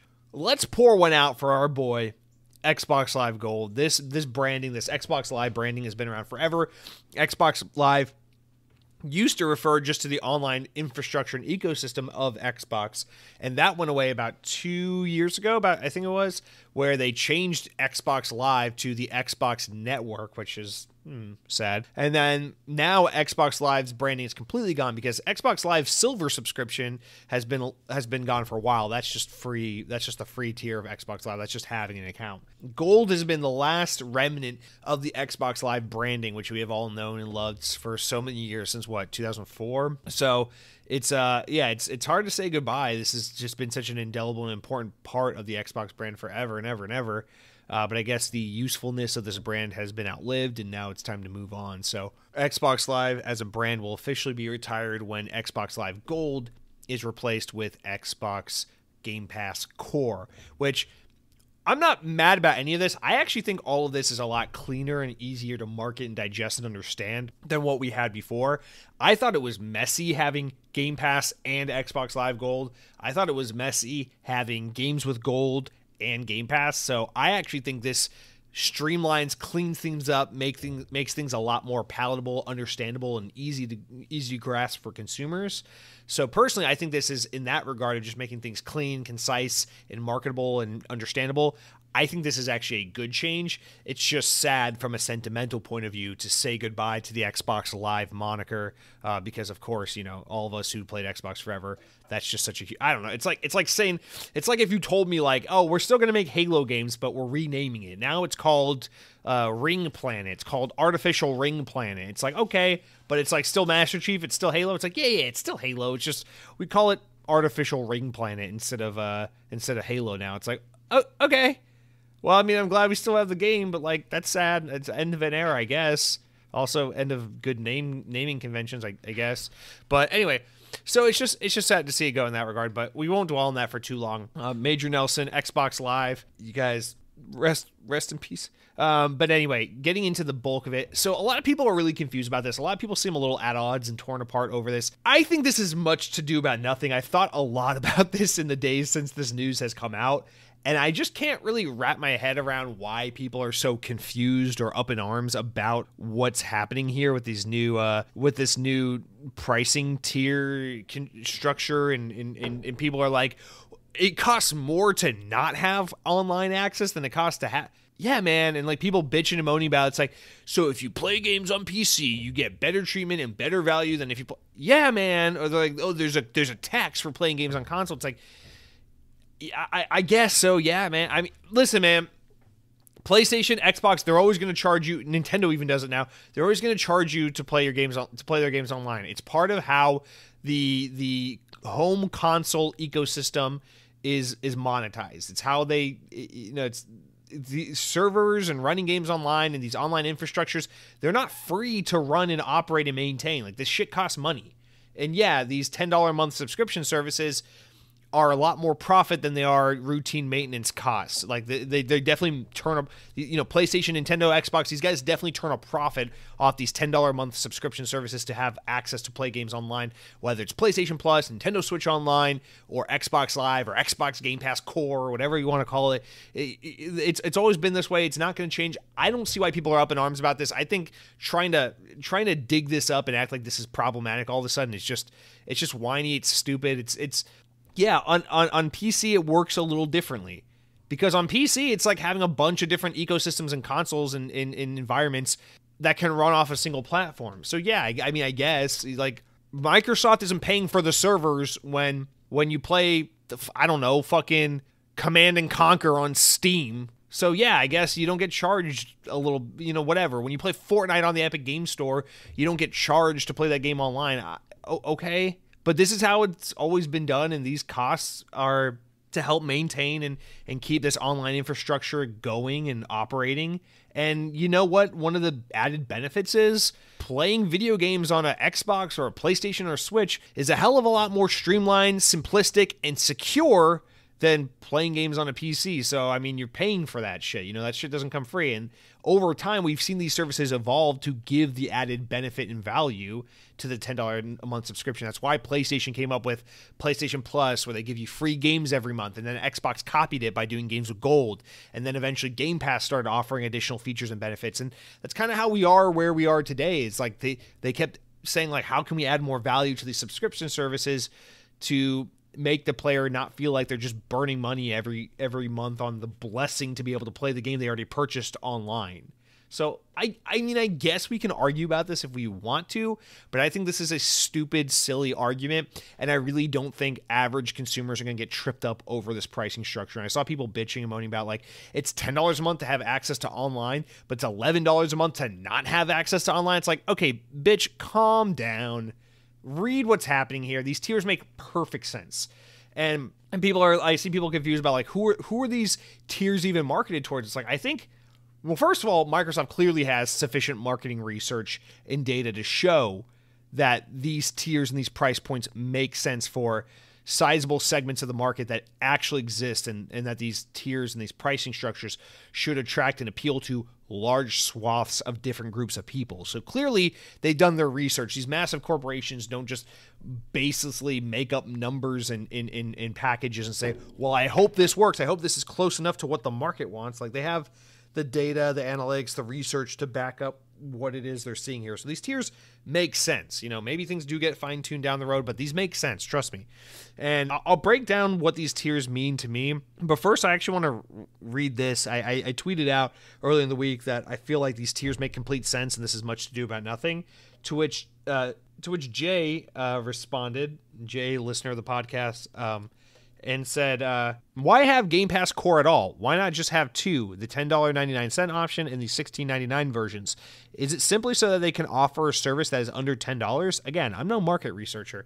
I actually thought this was a good point. I, I do think having something to market as uh, ten dollars a month or nine ninety nine a month is is really good from that from that marketability standpoint of just being able to be like, subscribe to Game Pass. Subscription starting as low as ten ninety or nine ninety nine. Like I, I do think that is a uh, a commercial worthy marketing marketability kind of thing to be able to have that ten dollar a month subscription tier.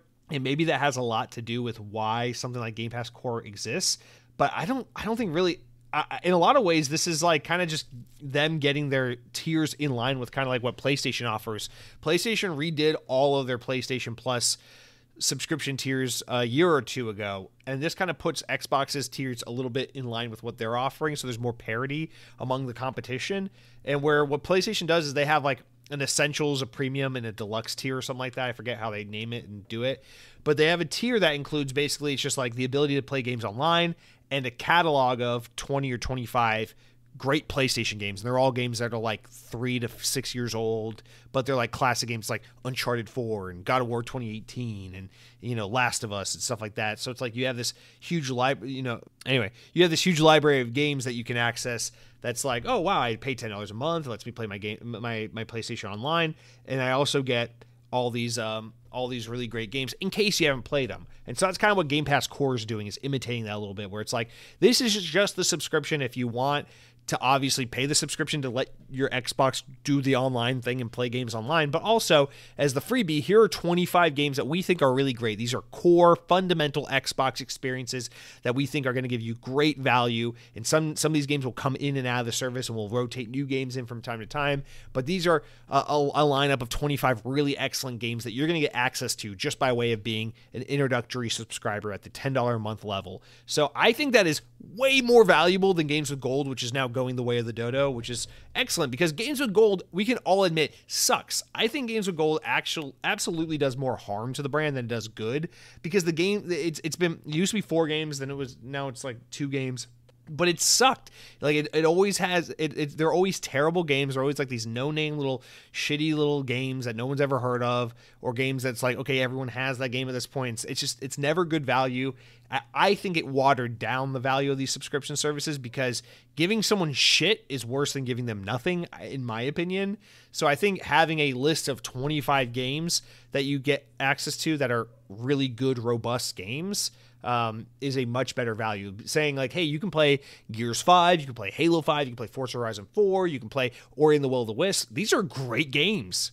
I, I think having a subscription like that where it's like, oh yeah, and then maybe we'll lose Hellblade after after the first year, but then we'll add, I don't know, we'll add um, we'll add fucking Wasteland Wastelanders 3 or something like that. Like th- that's that's a good value, I think. You know, you throw in some games that are a little older, games that have been on the market for a while that you're not really making money off of anyway, but are core fundamental games that everyone who has an Xbox should have exposure to. I think that's a way better value than deals with deals with gold or games of gold rather. So, Xbox Game Pass Core 9.99 comes with the ability to play your games online plus that 25 game catalog. I think this is a great substitute and alternative to gold. And speaking of, I just misspoke and said deals with gold, which is separate from games with gold. Uh, deals with gold is continuing. They're just renaming it deals with Game Pass, by the way. So that's not going away. So yeah, I mean, I think I think that's a really great tier. And then and the, oh, and then the option to have regular Game Pass for $11 a month, $1 more, but you don't get online multiplayer. The reason why this is more expensive, believe it or not, is because uh, having access to the expensive and expansive library of Game Pass is a way higher cost value than just the ability to play Call of Duty online or just the ability to play Gears of War online. So, yeah, that's what you're fucking paying for. Is you're paying for Game Pass. You're paying 10.99 a month to be able to play Starfield day 1 for, with Game Pass. That's what you're paying for. That's why it's a dollar more than the other version that includes online, even though this version does include online. So I see people people confused or upset about this. I think that's nonsense to, to be confused about that. If you don't care about having online multiplayer access, but you want to have Game Pass, I think $11 a month is a phenomenal price point. I think $11 a month to be able to play to play Starfield day 1, to be able to play Halo Infinite's campaign, to be able to go play uh, Pentiment, Grounded, all these games is is gr- a great deal. Obviously, it is watered down just a little bit, no doubt, because you think about a game like Exoprimal, it's like, well, you can't really play that because you don't have online access with Game Pass console tier, and Exoprimal is an online game, so there is a little bit of a lost value on Game Pass when you have a tier that includes all the games but not the ability to play online. So I get that for sure. You're not getting the full experience, you're not getting the full experience that Ultimate members have. But again, they need an incentive to make you want to bump up to a higher tier. And not everyone needs online games. There are, believe it or not, gamers out there who just prefer single player games. And so that's why I broke down this, this little list, this little uh, kind of breakdown explaining what all these tiers are for. So I put Game Pass Core. This is the tier that's $10 a month. It comes with the ability to play games online and just a 25 plus game library, but not the full Game Pass catalog. I wrote this tier is for the person that plays Madden or Call of Duty all year long and needs access to online multiplayer, but doesn't need access to the latest and greatest games because they're pretty much stuck in their way of playing the specific games they're accustomed to playing. The core 25 games that are included with the subscription, subscription, however, may influence or entice the player to branch out, try something new, ultimately broadening their horizons and thus making them one day influenced into upgrading to like Game Pass Ultimate, where they might become a more well rounded gamer who wants to try things outside of their comfort food, their Maddens, their FIFAs, their Call of Duties, their Forzas. So that is what Game Pass Core is for. It's for the person who's like, I don't I don't need access to all these games because I only play Fortnite and Call of Duty. I only play Madden and NBA.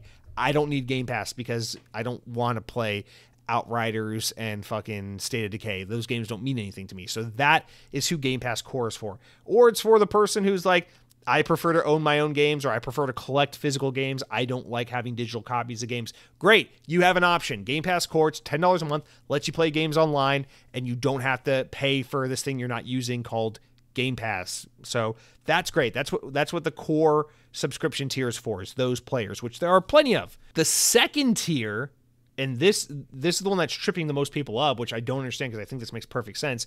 Game Pass console, which is eleven dollars a month, comes with a Game Pass library, but not online multiplayer.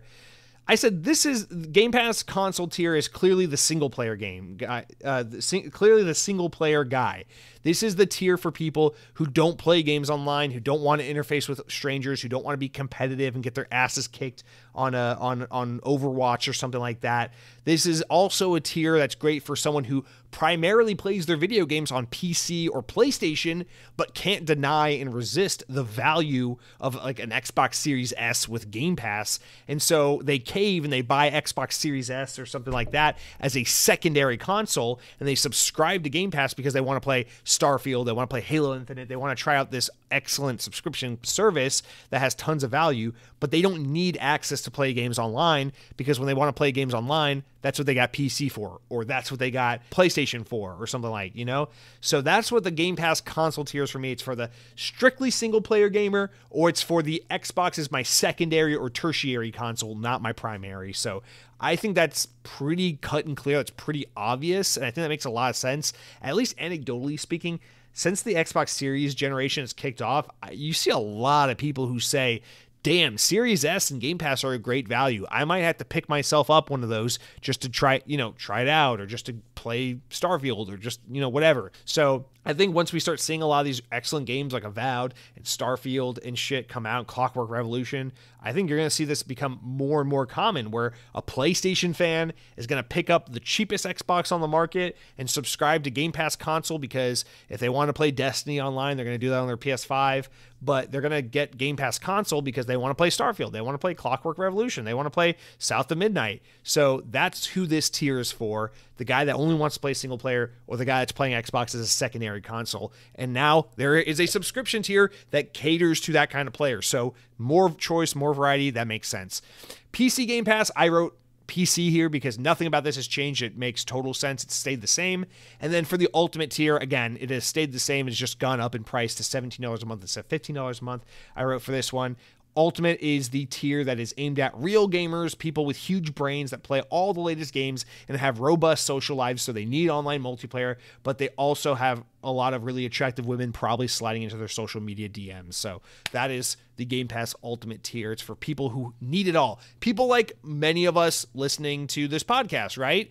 People who play Xbox as their primary console, people who need to play online because they want to play Halo Infinite online, people who want Game Pass because they want to play all the latest games day one on Game Pass and have the best value in gaming, people that want to use cloud streaming on their fucking Android devices when they're running around downtown Detroit or whatever the hell they're doing, eating subpar pizza. People that want to be able to take Game Pass on their PC as well because it's not enough to have an Xbox Series X. You also have to have a kick ass PC so that when those ladies sliding into your DMs come over to your place for the first time, they can say, Yeah, it's liquid cooled, bitch. And then, uh, you know, so that that's that's Game Pass Ultimate, right? So I don't know. To me, it's like it, took me two seconds to think about this. I feel like it all makes perfect sense. It's a lot of bitching and moaning about nothing because I mean, when your life is going pretty well and you don't have a whole lot of bad things happening, I guess you have time to bitch and moan about the name changes and benefits uh, included in the latest tiers of your Xbox subscription service. But I don't know. I think this is all for the better. Rotten hell, games of gold, you sucked. I don't miss you. I think this is a good thing that you're gone. Um, I think the core Game Pass rotational 25 games is a really good value, and I think these these four tiers are perfect for the core segments that would be interested in subscribing to an Xbox subscription service to begin with. So I think this is a great job. I think they did a really good job of uh, making sure they hit all the markets. And uh, the only thing left to say is is really Rest in power, Xbox Live. Uh, it's gonna be weird knowing that you're not around. Xbox Live is a is a brand name that just that fucking logo, dude. That's so cool. Like the neon light, you know, the fucking old neon light with the. Uh, oh, dude, I just realized. I was just thinking about the Xbox Live logo. You know, it's like the Xbox with the with the neon orange Live logo underneath the Xbox name. I just realized that the Xbox Game Pass logo that's also a green neon sign with the game with the Xbox logo and the arrow below and the Game Pass thing. I just realized that is a continuation of the Xbox Live kind of uh, uh, logo thing with the with the neon lights. I that's really cool that they had that con- that continuity. I, I never put two and two together and realized that. But anyway, this was supposed to be a send off to Xbox Live. Fuck you, Game Pass, for trying to get involved. This isn't about you. You'll have your moment to shine, please. Xbox Live, thank you for being there. You're awesome. We love you. It's a name that makes me think about sitting on a uncomfortable gaming chair or beanbag while sipping on a Mountain Dew Voltage in the year 2007 playing Halo 3 and thinking, "Wow, my life will be so awesome when I get a 32 inch 720p TV so that I can enjoy this game in even finer definition because it's 2007 and your tiny fucking brain thinks 720p is a really, really good resolution for a gaming TV because you're dumb and you don't know any better and you'll probably never know any better. And so, shout out to you, Xbox Live. You're the GOAT and your mom loves you, your dad loves you, uh, even though you are adopted. So, that's funny. But um, yeah, rest, rest in peace, along with. Uh, the not deceased um, Major Nelson, who is departing Xbox. So, end end of an era, dude. It's a lot we're saying goodbye to this week. Fucking Major Nelson, Game Pass or Xbox Live, and now you know whatever. We on to the new. We embrace the future. We keep moving forward, uh, just like Walt Disney used to say, or or so I'm told. And uh, yeah, that's it. All right. I thought that was a fun way to open up the show. Talk about, or the news rather, talk about something different, something exciting going on in the world of Xbox, and, uh, you know, not talking about courtrooms and things that I'm not qualified to speak to. But with that said, let's hightail it back on over to legal speak because we got to talk about what's going on with the Activision Microsoft deal. Although this week is much better than last week because I think we're in a point where the deal is basically kind of done and there isn't much more to say other than what the current updates are.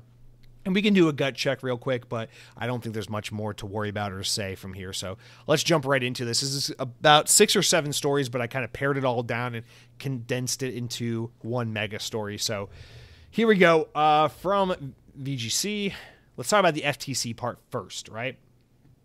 So this is kind of picking up where we left off last week. A U.S. court has denied the Federal Trade Commission, or the FTC, their request to further halt Microsoft's acquisition of Activision paving the way for the deal to finally close. We talked about that kind of last week. The deal had been basically approved. The judge had denied the FTC, and then immediately afterwards, while we were recording last week, the FTC is like, "We're going to try to uh, request to." Uh, appeal, and then that's where we left off last week. Well, the court has decided to re- deny their request and basically said, "Fuck you, we're done here. They can close this deal." Early in the week, the Xbox firm had won a court battle with the FTC, with it seeking to block the deal over an antitrust concern. An existing temporary restraining order on the deal ends just before midnight on Friday. This is last Friday, uh, but the FTC but the FTC filed an emergency motion to the Ninth Circuit Court Appeals asking for a temporary pause. Now, the Ninth Circuit Court of Appeals has denied its request for emergency relief to stop Microsoft from closing its deal under the conclusion that the FTC of the FTC's appeal. Microsoft welcomed the news on Friday, saying, "quote We appreciate the Ninth Circuit's uh, swift response denying the FTC's motion to further delay the deal." While President Brad Smith said in a statement to The Verge, "quote." This brings us another step closer to the finish line in this marathon of global regulatory reviews, he added. Microsoft can now close the deal after the current restraining order expires on Friday. Well, that's last Friday that they're saying that. However, they might not want to do that just yet because Microsoft still needs to resolve issues in the UK. So put a pin in that for now. We'll get back to it in a second. Microsoft wants to complete the Activision Blizzard deal, of course, before the merger expires. At the time of this writing, it was July 18th. However, at the time we're now recording this podcast, it's July 19th. So the time has passed where the agreement has to be completed by, at which point Activision had the potential or the ability to walk away from the deal, get a $3 billion termination fee from Microsoft, and, and say, we're done here. However, that's not what happened because as of today, as of the day I'm recording this, Microsoft and Activision Blizzard announced that they have agreed to extend their merger agreement until October 18th. So now instead of everything having to be done, wrapped up, finished by July 18th, it has now been extended yet again. So we're out of the spring and into the fall. We went from the spring to the summer to now the fall. Microsoft and Activision have agreed to extend the merger agreement until October 18th of this year, giving us a couple more months. The move to the ex- to extend the agreement came after the initial self-imposed deadline expired this week. They said, "quote Together with Activision, this is Brad Smith from Microsoft." Together with Activision, we're announcing an extension of our merger agreement to October 18th to provide ample time to work through the final regulatory issues, basically referring to the, C, uh, the CMA. We will honor commitments agreed upon with the European Commission and other regulators and continue to work with the CMA on issues raised in the UK. We're confident about our prospects of getting the deal across the finish line. And Xbox boss Phil Spencer also spoke on the matter, saying, quote, We're optimistic about getting this done, and we're excited about bringing more games to more players everywhere. End quote. But Microsoft has a lot of work to do to ameliorate the concerns of the CMA over in the UK. Microsoft has reportedly consider, considered selling some of its UK based cloud gaming rights in a bid to gain regulatory approval for its Activision deal. According to Bloomberg sources, the company, the company said that they could sell their ba- uh, their cloud-based marketing rights for games in the UK to a telecommunications company, gaming or internet-based computing company, or possibly a private equity firm because you know those are all great alternatives to uh, a big American business, right? Just give it to a big British business instead. Following the UK's competition in markets authority, the CMA, blocking the Activision deal back in April due to concerns of the impact of it, that it, it would necessitate sorry, during to Due to concerns about its impact on the nascent cloud gaming market, the regulator has now extended the deadline for its final decision on Microsoft's proposed deal. The CMA has been scheduled to deliver its ruling on the merger by July 18th. However, the CMA has uh, extended their deadline to now being August 29th. So this puts us in an interesting situation where Activision and Blizz, uh, sorry, Activision Blizzard and Microsoft have agreed to push their deadline to close this deal to October 18th. But the CMA has extended their deadline to figure out a new path forward and to get Microsoft to convince them to approve this deal and extended that deadline to August 29th. So even though Microsoft and Activision have until October, mid October, the CMA is basically saying we'll get an answer for you on whether or not we can approve this deal no later than August 29th. So it should be sooner we find out if the CMA will approve this deal, more likely when the CMA will approve this deal. However, the deal itself could still be pending and not finished until upwards of October 18th. But I would assume, based on this information, that if the deal gets approved by the CMA before August 29th, Microsoft and Activision will finish this merger well before October 18th. That's just probably a cushion or a little buffer that they're giving themselves, if I had to guess. Uh, anyway, the CMA says in regards to their extension, quote, the CMA consider that there's the CMA considers that there's insufficient time remaining in this uh, statutory period for a full and proper consideration of Microsoft's submission on the proposed order. As such, the inquiry group considers that there are special reasons to extend by six weeks the revised period. It will therefore be on August 29th. Uh, however, the inquiry group aims to discharge its duty as soon as possible and in advance of this date. So they are trying to get this done well before August 29th. That is just a worst case scenario, is what they're saying there. During a case management conference on Monday, uh, CAT CAT provisionally agreed to a two month stay of the case after the CMA said that it would uh, consider a modified deal put forward by Microsoft, as reported by uh, Reuters.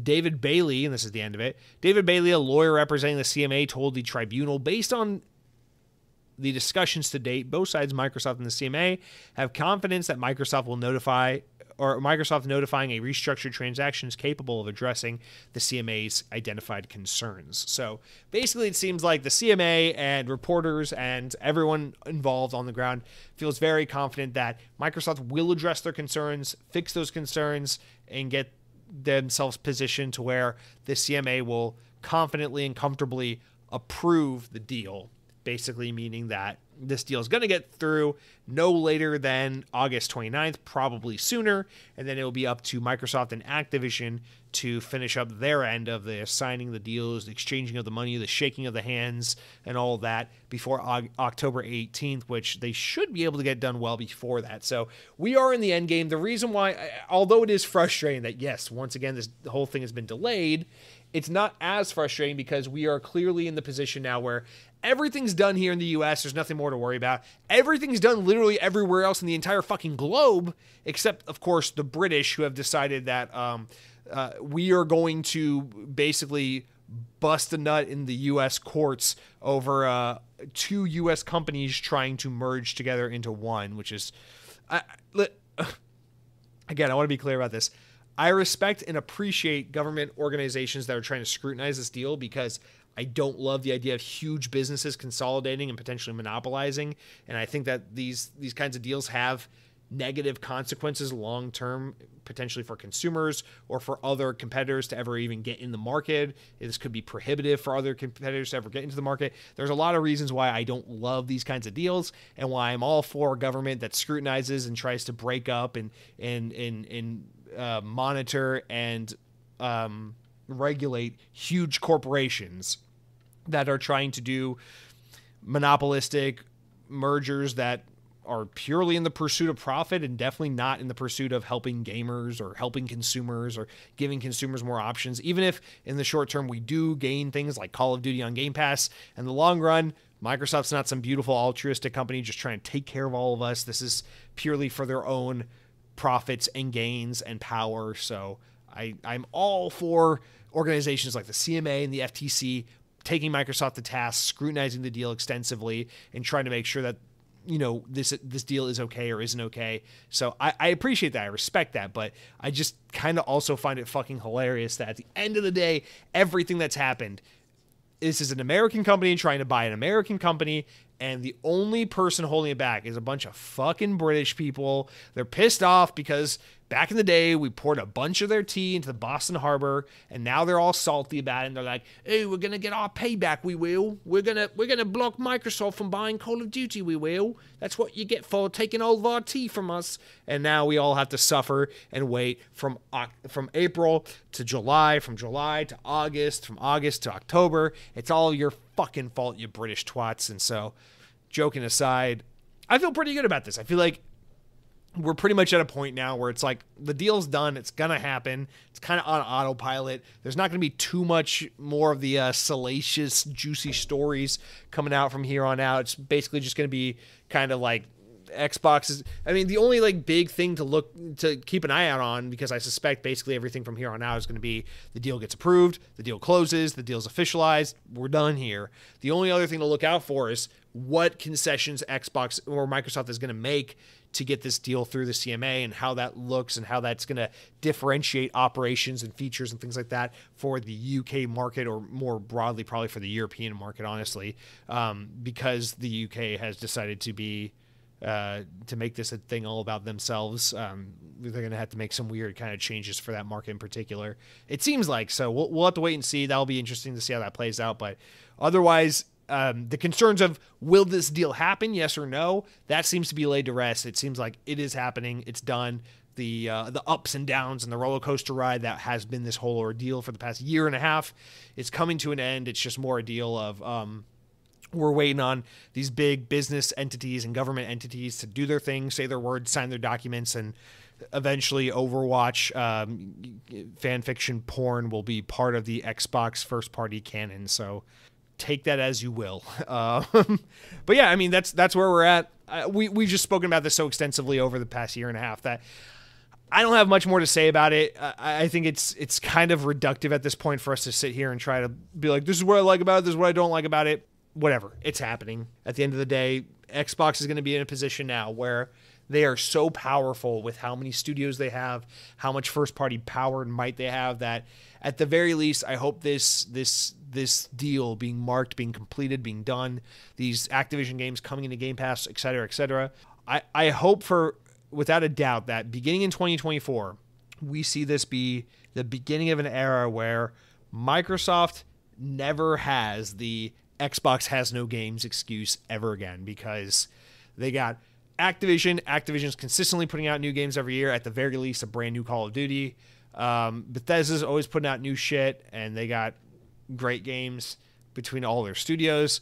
And then Xbox's first party finally seems to be ramping up and firing on at least 70% of their cylinders. So it seems like we're at a point where between all these arcs, Xbox's first party lineup should be very, very robust, and Game Pass should be very, very, very well fed, and gamers should be very, very, very, very, very, very satiated by the amount of content, the quality of content, uh, just the sheer output coming from Xbox and its owned entities. So I'm looking forward to that as you know that's going to happen with or without Activision, but that's going to be bolstered even further as a result of this deal going through. And so I'm looking forward to that future where my Game Pass is just the best value there is in gaming, and there's always something new and exciting to be playing. And it's not always something like Exoprimal. Sometimes it's something a little juicier, like Call of Duty 2025 or fucking Elder Scrolls 69 or whatever the hell we're playing. But looking forward to it.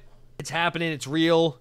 At the very least, I can say this these Xbox gamers, they love they love Activision, they love Call of Duty because look at these motherfuckers. They're playing fucking 2009's Modern Warfare 2 by the by the tens of thousands right now. The game's goddamn 15 years old. What are you what are you talking about? I don't even got this many people playing the Master Chief Collection. What's happening here? So there's a lot of love going out there for uh for the uh for the Activision stuff. So um, the other thing we had to talk about this is uh, not about the CMA, not about the FTC, but about Sony. There's one more thing we gotta say, and it's about Microsoft and Sony finally uh, doing the thing, doing the deed. Sony pulled out a, a black ink pen and signed the dotted line. So, yep, let's read this. A couple stories stitched together here from VGC. On Sunday night this past week, Phil Spencer announced that Microsoft and PlayStation have finally signed a binding agreement to keep Call of Duty on PlayStation following the acquisition of Activision. The newly signed agreement will last for a decade, it's been claimed.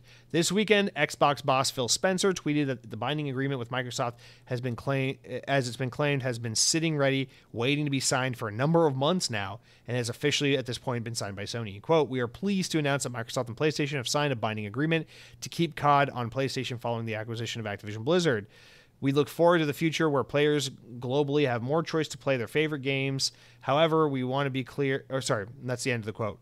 However, what wasn't clear in Spencer's tweet was whether this binding agreement would last forever or whether it would last the 10 years being originally proposed by Microsoft at some point or even longer. But now, Axios journalist, journalist Stephen Totilo has said that he's been told by Sony that the deal is indeed a 10 year deal. Quote, Sony has confirmed with me slash Axios that PlayStation's Call of Duty deal with Microsoft uh, is a $10, $10, is a 10 year deal, he tweeted. Then he joked, quote, I'm looking forward to still being in the in this beat in 2033 and covering the next round of Nintendo, Nvidia, and Sony contract negotiations for Call of Duty with Xbox.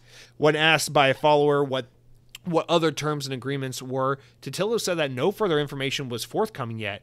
Quote, I asked about streaming, PlayStation Plus access, and duration. He explained, got what I shared. So he, w- he didn't get any update on that. And then another thing people were mentioning is, hey, keep in mind that this deal is about Call of Duty. It's not about Activision games. It's about Call of Duty specifically. So then that ended up with the whole conversation about how you know, eventually we're going to see some Activision games that are Xbox exclusive that do not come to PlayStation just because the Call of Duty deal has been promised ad nauseum to still be on PlayStation, Nvidia, and Nintendo.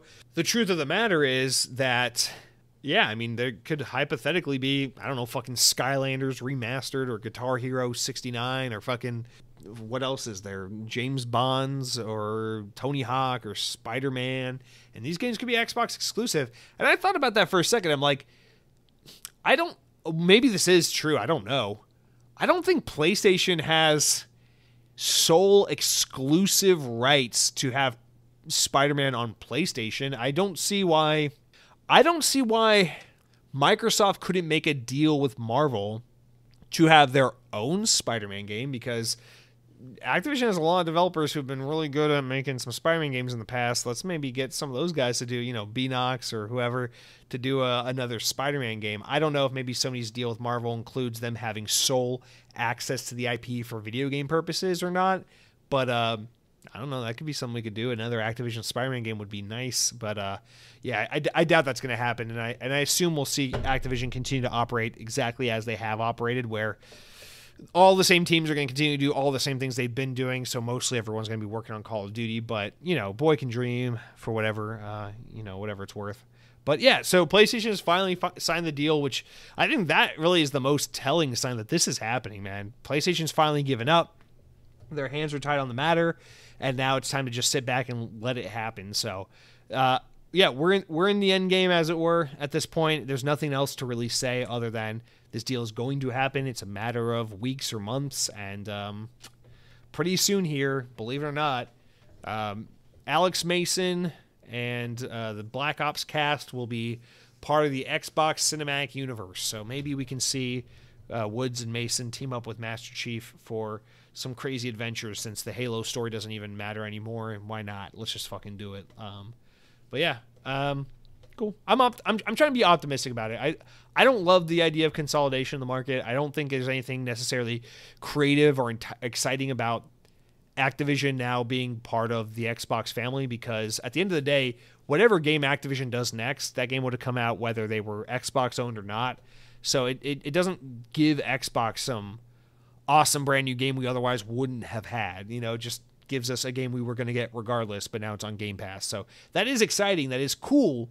But, you know, I'm more excited about some like a new game from The Initiative or from uh, Compulsion or something like that because that's going to be a game we would not have gotten if it weren't for Xbox. So that's why that stuff is just so much more interesting to me. However, it is still pretty notable. It's, I mean, it's the biggest story basically in gaming history of the past 10, 20 years that Microsoft is buying Activision and shit's happening, man. It's, it's, it's, it's going on. So, all right, we'll get back to that, I'm sure, probably in a week or two. I'm sure we'll have some updates soon. So, for now, let's move on to our wrap up stories uh, real quick. I don't have much to say about this that hasn't already been said, but we got some uh, concerning news a little bit on the Fable project from VGC. Anna Miguel Sorry, I'm butchering your name. The narrative lead on the upcoming Fable reboot at Playground Games has announced that they are leaving the project. Majel, I'll say Majel, who has worked previously on Guild Wars 2, Dishonored, and Control over at Remedy, said that on Twitter that she has had several wonderful years scribbling away at the fairy tale cottage, but the time feels right for a new challenge. Working on Fable, quote, was a dream come true for me. It was wrenching to leave it behind, but Playground has assembled a heroically talented team, so I know it's in good hands. I'm excited for what's coming next for them and for me, uh, Mijil said. Playground Games co founder Gavin Raeburn, alongside other former members of Playground Games staff, launched Lighthouse Games earlier in the year. Lighthouse Games is a second AAA studio to be put together by former Playground staff this year. In January, it was announced that key talent behind the Forza Horizon series had left Playground to make a new AAA team called Maverick Games. After years of silence, the new trailer for Fable was shown last month at the Xbox Game Showcase. The new trailer, which claims to be running in engine, shows the it crowd or the IT crowd. I don't know what the show's called because I don't know anything about the show. Uh, Richard Ayoade telling the game's story, which people seem to really enjoy that little uh, that little thing. The only thing I can say about this that isn't like bad news is that this game is probably far enough in development that the narrative, the story is written. It happened. So this person's work, Anna's um, contribution to the game, is probably mostly done. You know, these games, these kinds of narratives and things like that are written during earlier stages of development. So while she probably would still have work to do had she stayed at uh, Playground Games, it wouldn't be a whole lot. And I assume the bulk of her job is done. That she's written her characters, she's written her stories, she's written the game's narrative, and it's off to all the other teams that are putting the game together, assembling the game, building the worlds, building the environments, doing the level design, all these things that you build around the narrative. So I would say that if we're going to look at this from a glass half full perspective and say it's not all doom and gloom, I would say she's already done with her work. If anything, she may be leaving because she's in a state of boredom where she's contributed what she had to contribute to the game. The game got lost in development hell, and now she's been kind of twiddling her thumbs, waiting for a while here, saying, we got to get this game out the door so we can start working on the next game to give her some work to do. But because they're just working on Fable, you know, perhaps she has nothing to do in the meantime. And game developers don't want to sit around doing nothing. They want to get paid to do work and create games, not to sit around and let other people do stuff around them. So maybe she's moved on to go work on a new project. So I can see this that way. And in which case, I wouldn't say, oh, this is doom and gloom. This is trouble for the game.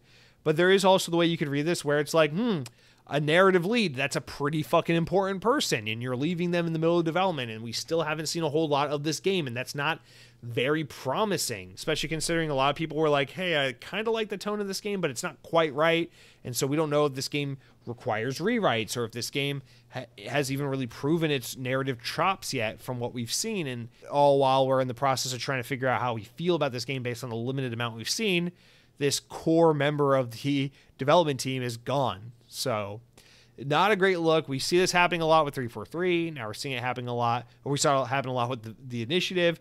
And we've been seeing it happen a lot this year with Playground Games, where a lot of these people are like, hey, we don't want to make an adventure RPG. We want to make racing games. Or like, hey, I already wrote my my narrative stuff, my narrative treatment for the game. Like I'm waiting around, you guys are still just kind of twiddling around development hell with the other aspects of the game. Hi, I'm I'm, I'm out of here. Okay, see you guys later. So it's not necessarily doom and gloom for Playground. I kind of look at it as like they're shedding they're shedding people that don't want to make this kind of game for the most part, but they are shedding enough people to where it's like kind of concerning. It's like what's happening? Because let's let's assume that everything goes best case scenario and Fable's excellent. That's awesome. Will Fable be able to go back, or will will Playground be able to go back and make another Forza game after this, or will their studio's composition be so different that it's like, yeah, we can't make we can't make Forza anymore. So many of those Forza guys are gone, and we want to make another Fable game, but now we got to find a new narrative lead. And those are kinds of the concerns in addition to how this affects Fable directly. Is what does this mean for what Playground can do after Fable? And so I don't know. I got a lot of questions this is one of those games I put kind of a little bit of a question mark on. There's some games I'm really confident in. I'm really confident in Avowed, for example. Anything that anything that Obsidian's working on, I'm just I just know it's going to be good. But Fable's kind of in that camp of like I want to love it, I want to be excited. I'm a little apprehensive about where this team is and where this game's at. So we'll see. But uh, of course, wishing Anna the best in her ventures and her in her journeys. Hopefully, wherever she lands, she's happier. So yeah, shout out to that. Uh, all right, and then our final wrap up today, guys, is uh, just some Game Pass games coming and going. So available now on Game Pass. Techtonica is a game preview that's available now on console and PC and cloud. Toem is available on cloud, console, and PC, and The Cave is now available on cloud and console. Uh, coming soon to Game Pass, Maquette is coming on July 19th to cl- console and PC. On July 20th, uh, Figment 2, Creed Valley, and The Wandering Village are coming to Cloud Console and PC. And then on July 25th, Serious Sam Siberian Mayhem is coming to Cloud Console and PC. Only Xbox Series, no Xbox One. Uh, and then Venba comes to console and PC, day one Game Pass title on July 31st. Finally, last on August 1st, Celeste comes to Cloud Console and PC. If you have never played Celeste, for love of God, do yourself a favor and play Celeste. The game is phenomenal. And then, hey, we don't normally talk about DLC or game updates, but Sea of Thieves, the Legend of Monkey Island expansion, comes to Sea of Thieves on July 20th. So the day this podcast is going live, so you can check that out. If you're looking for a big expansion to Sea of Thieves, I'm sure that will be quite compelling to fans of the game. And then lastly, leaving Game Pass on July 31st. The following games are leaving the service. Service. So there's Dreamscaper, Cloud console and PC is leaving on July 31st, as well as Expeditions Rome leaving PC. Marvel's Avengers is leaving Cloud console and PC. The Ascent is leaving Cloud console and PC. I really wanted to get into that game, I never did. And lastly, Two Point Campus is leaving Cloud console and PC. I feel like that game wasn't on there for too long. Maybe it was about a year. I don't know. But uh, yeah, play them now or miss your chance forever because they're leaving on July 31st. And that is going to do it for all of our news this week. You guys, let's round out the podcast real quick with the important enough news. These are stories important enough to make the podcast, but not important enough to warrant their own discussions, of which we have a small handful. So shooting them off real quick. First of all, let's talk about Diablo. Uh, Activision Blizzard said on Wednesday that 10 million players have experienced Diablo 4 during its launch month. The World of Warcraft studio said it's the fastest selling title to date that they've ever launched. And Diablo 4's releasing drove three months for the Blizzard business segment, which delivered its first $1 billion net bookings quarter. During the three month uh, period ending June 30th, Blizzard said revenue grew 160% year over year, with operating income tripling year over year, each setting new quarterly records, according to Activision. So it's pretty safe to say people are fucking loving uh, Diablo 4. Next up, Limited Games Limited Run Games has announced a Gex trilogy for Xbox and PC. Developed by Crystal Dynamics, the platforming game series starring the anthropomorphic gecko called Gex, uh, comprised of three releases: 1995's Gex, 1998's Gex Enter the Gecko, and 1999's Gex 3, the deep or sorry, deep cover gecko. Uh, the games are being brought to Xbox Series S and X and Steam using Limited Runs Games Carbon Engine, a development tool that helps create emulation based ports of classic games for modern hardware. A, re- a, release window for Gex Trilogy is yet to be announced. That's going to be funny. Those games are uh, not necessarily politically correct, but I do remember playing them and enjoying them when I was a kid on the PlayStation 1. So it'll be interesting to see those games come back. Uh, next up, VGC says South Africa's Film and Publication Board has leaked a new Borderlands collection. As spotted by Gematsu, the ratings board has classified the Borderlands compilation Pandora's Box for PC and console, and the game's origination classified classified, uh, which could be an unannounced title trademarked by Bandai Namco in November of 2021. So It's a little bit of an odd one there. Uh, next up, People Can Fly have announced a new studio in Montreal, Canada. The studio is working on a original AAA project, which has been in development for several years at People Can Fly's New York office. Billed as a highly ambitious, groundbreaking action adventure title, the project is being led by creative director Ronald, uh, Roland Lesterlin, the studio head of and studio head David Gringens. Uh, Lesterlin previously directed Just Cause 3 at Avalanche, New York, while Gringens served as the game's executive producer.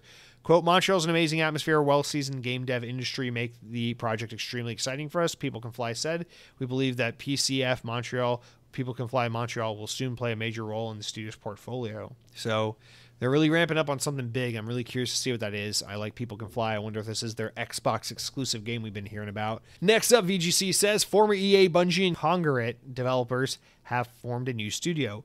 Look North World was founded by Alex Serapian, Serapian, Seropian, uh, Jay Pe- uh, Peko, um, Patrick Moran, and Kyle Marks, Aaron Moroccan, and Prashant Patil. Uh, Alex Seropian is best known as a founder of Bungie and the studio behind, of course, Halo and Destiny. However, he left the studio shortly after the first game came out, so he has not been there for quite a while. Uh, Jay Pe- uh, Pecho uh, has served as CTO. Aaron Marquin will be the principal artist. Um, Prashant Patil as an art director, and Kyle Marks as creative director of the studio. Their first game is called Outlaw Corral, which is being developed in Unreal Engine for Fortnite. The game is described as a Wild West island featuring skill based shootouts.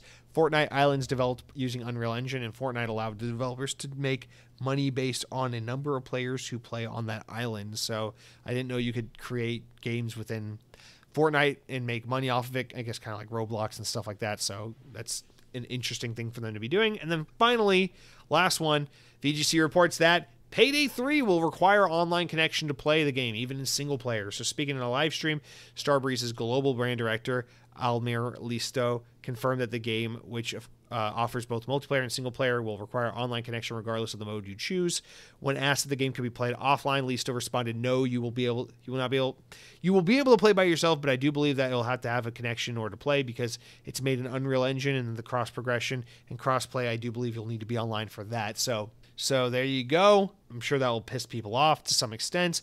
I wonder, does that include? Does, is that like a situation where you would need Game Pass Core or Game Pass Ultimate, but not Game Pass console because you need to be connected online, or is it because you're not playing on a server? It doesn't matter. I wonder if, if that you know because that that's going to cause controversy when as games like that happen, if that's the case. So I wonder how that works actually. But um, guys, that's going to do it for our podcast. That's actually everything this week. That's uh, that's the last story of the week, and uh, normally we would close out with some comments, shout outs from YouTube.com/slash Xbox on Podcast, you can click on the latest episode of the podcast, drop a comment, I'll read it here on the show. Um, however, this week we we really didn't get any comments. Um, and the only comments we did get, I already read them earlier in the show. So there are no comments to go through this week. So uh, I'd appreciate it if you're interested, if you feel so inclined, leave a comment, ask a question, tell me why I'm silly, challenge me, or just say something goofy. But drop a comment, youtube.com slash Xbox on podcast. Click on the latest episode of the show and drop a comment, and then we'll read it on next week's show. Uh, look forward to hearing from you guys. And, uh, that's it, that's it for this week's podcast. So I hope you all have a wonderful week. I hope you all take care. I hope you are all well and beautiful and happy and that your Blaze pizza comes out tasting delicious. But until next week, be well empower your dreams.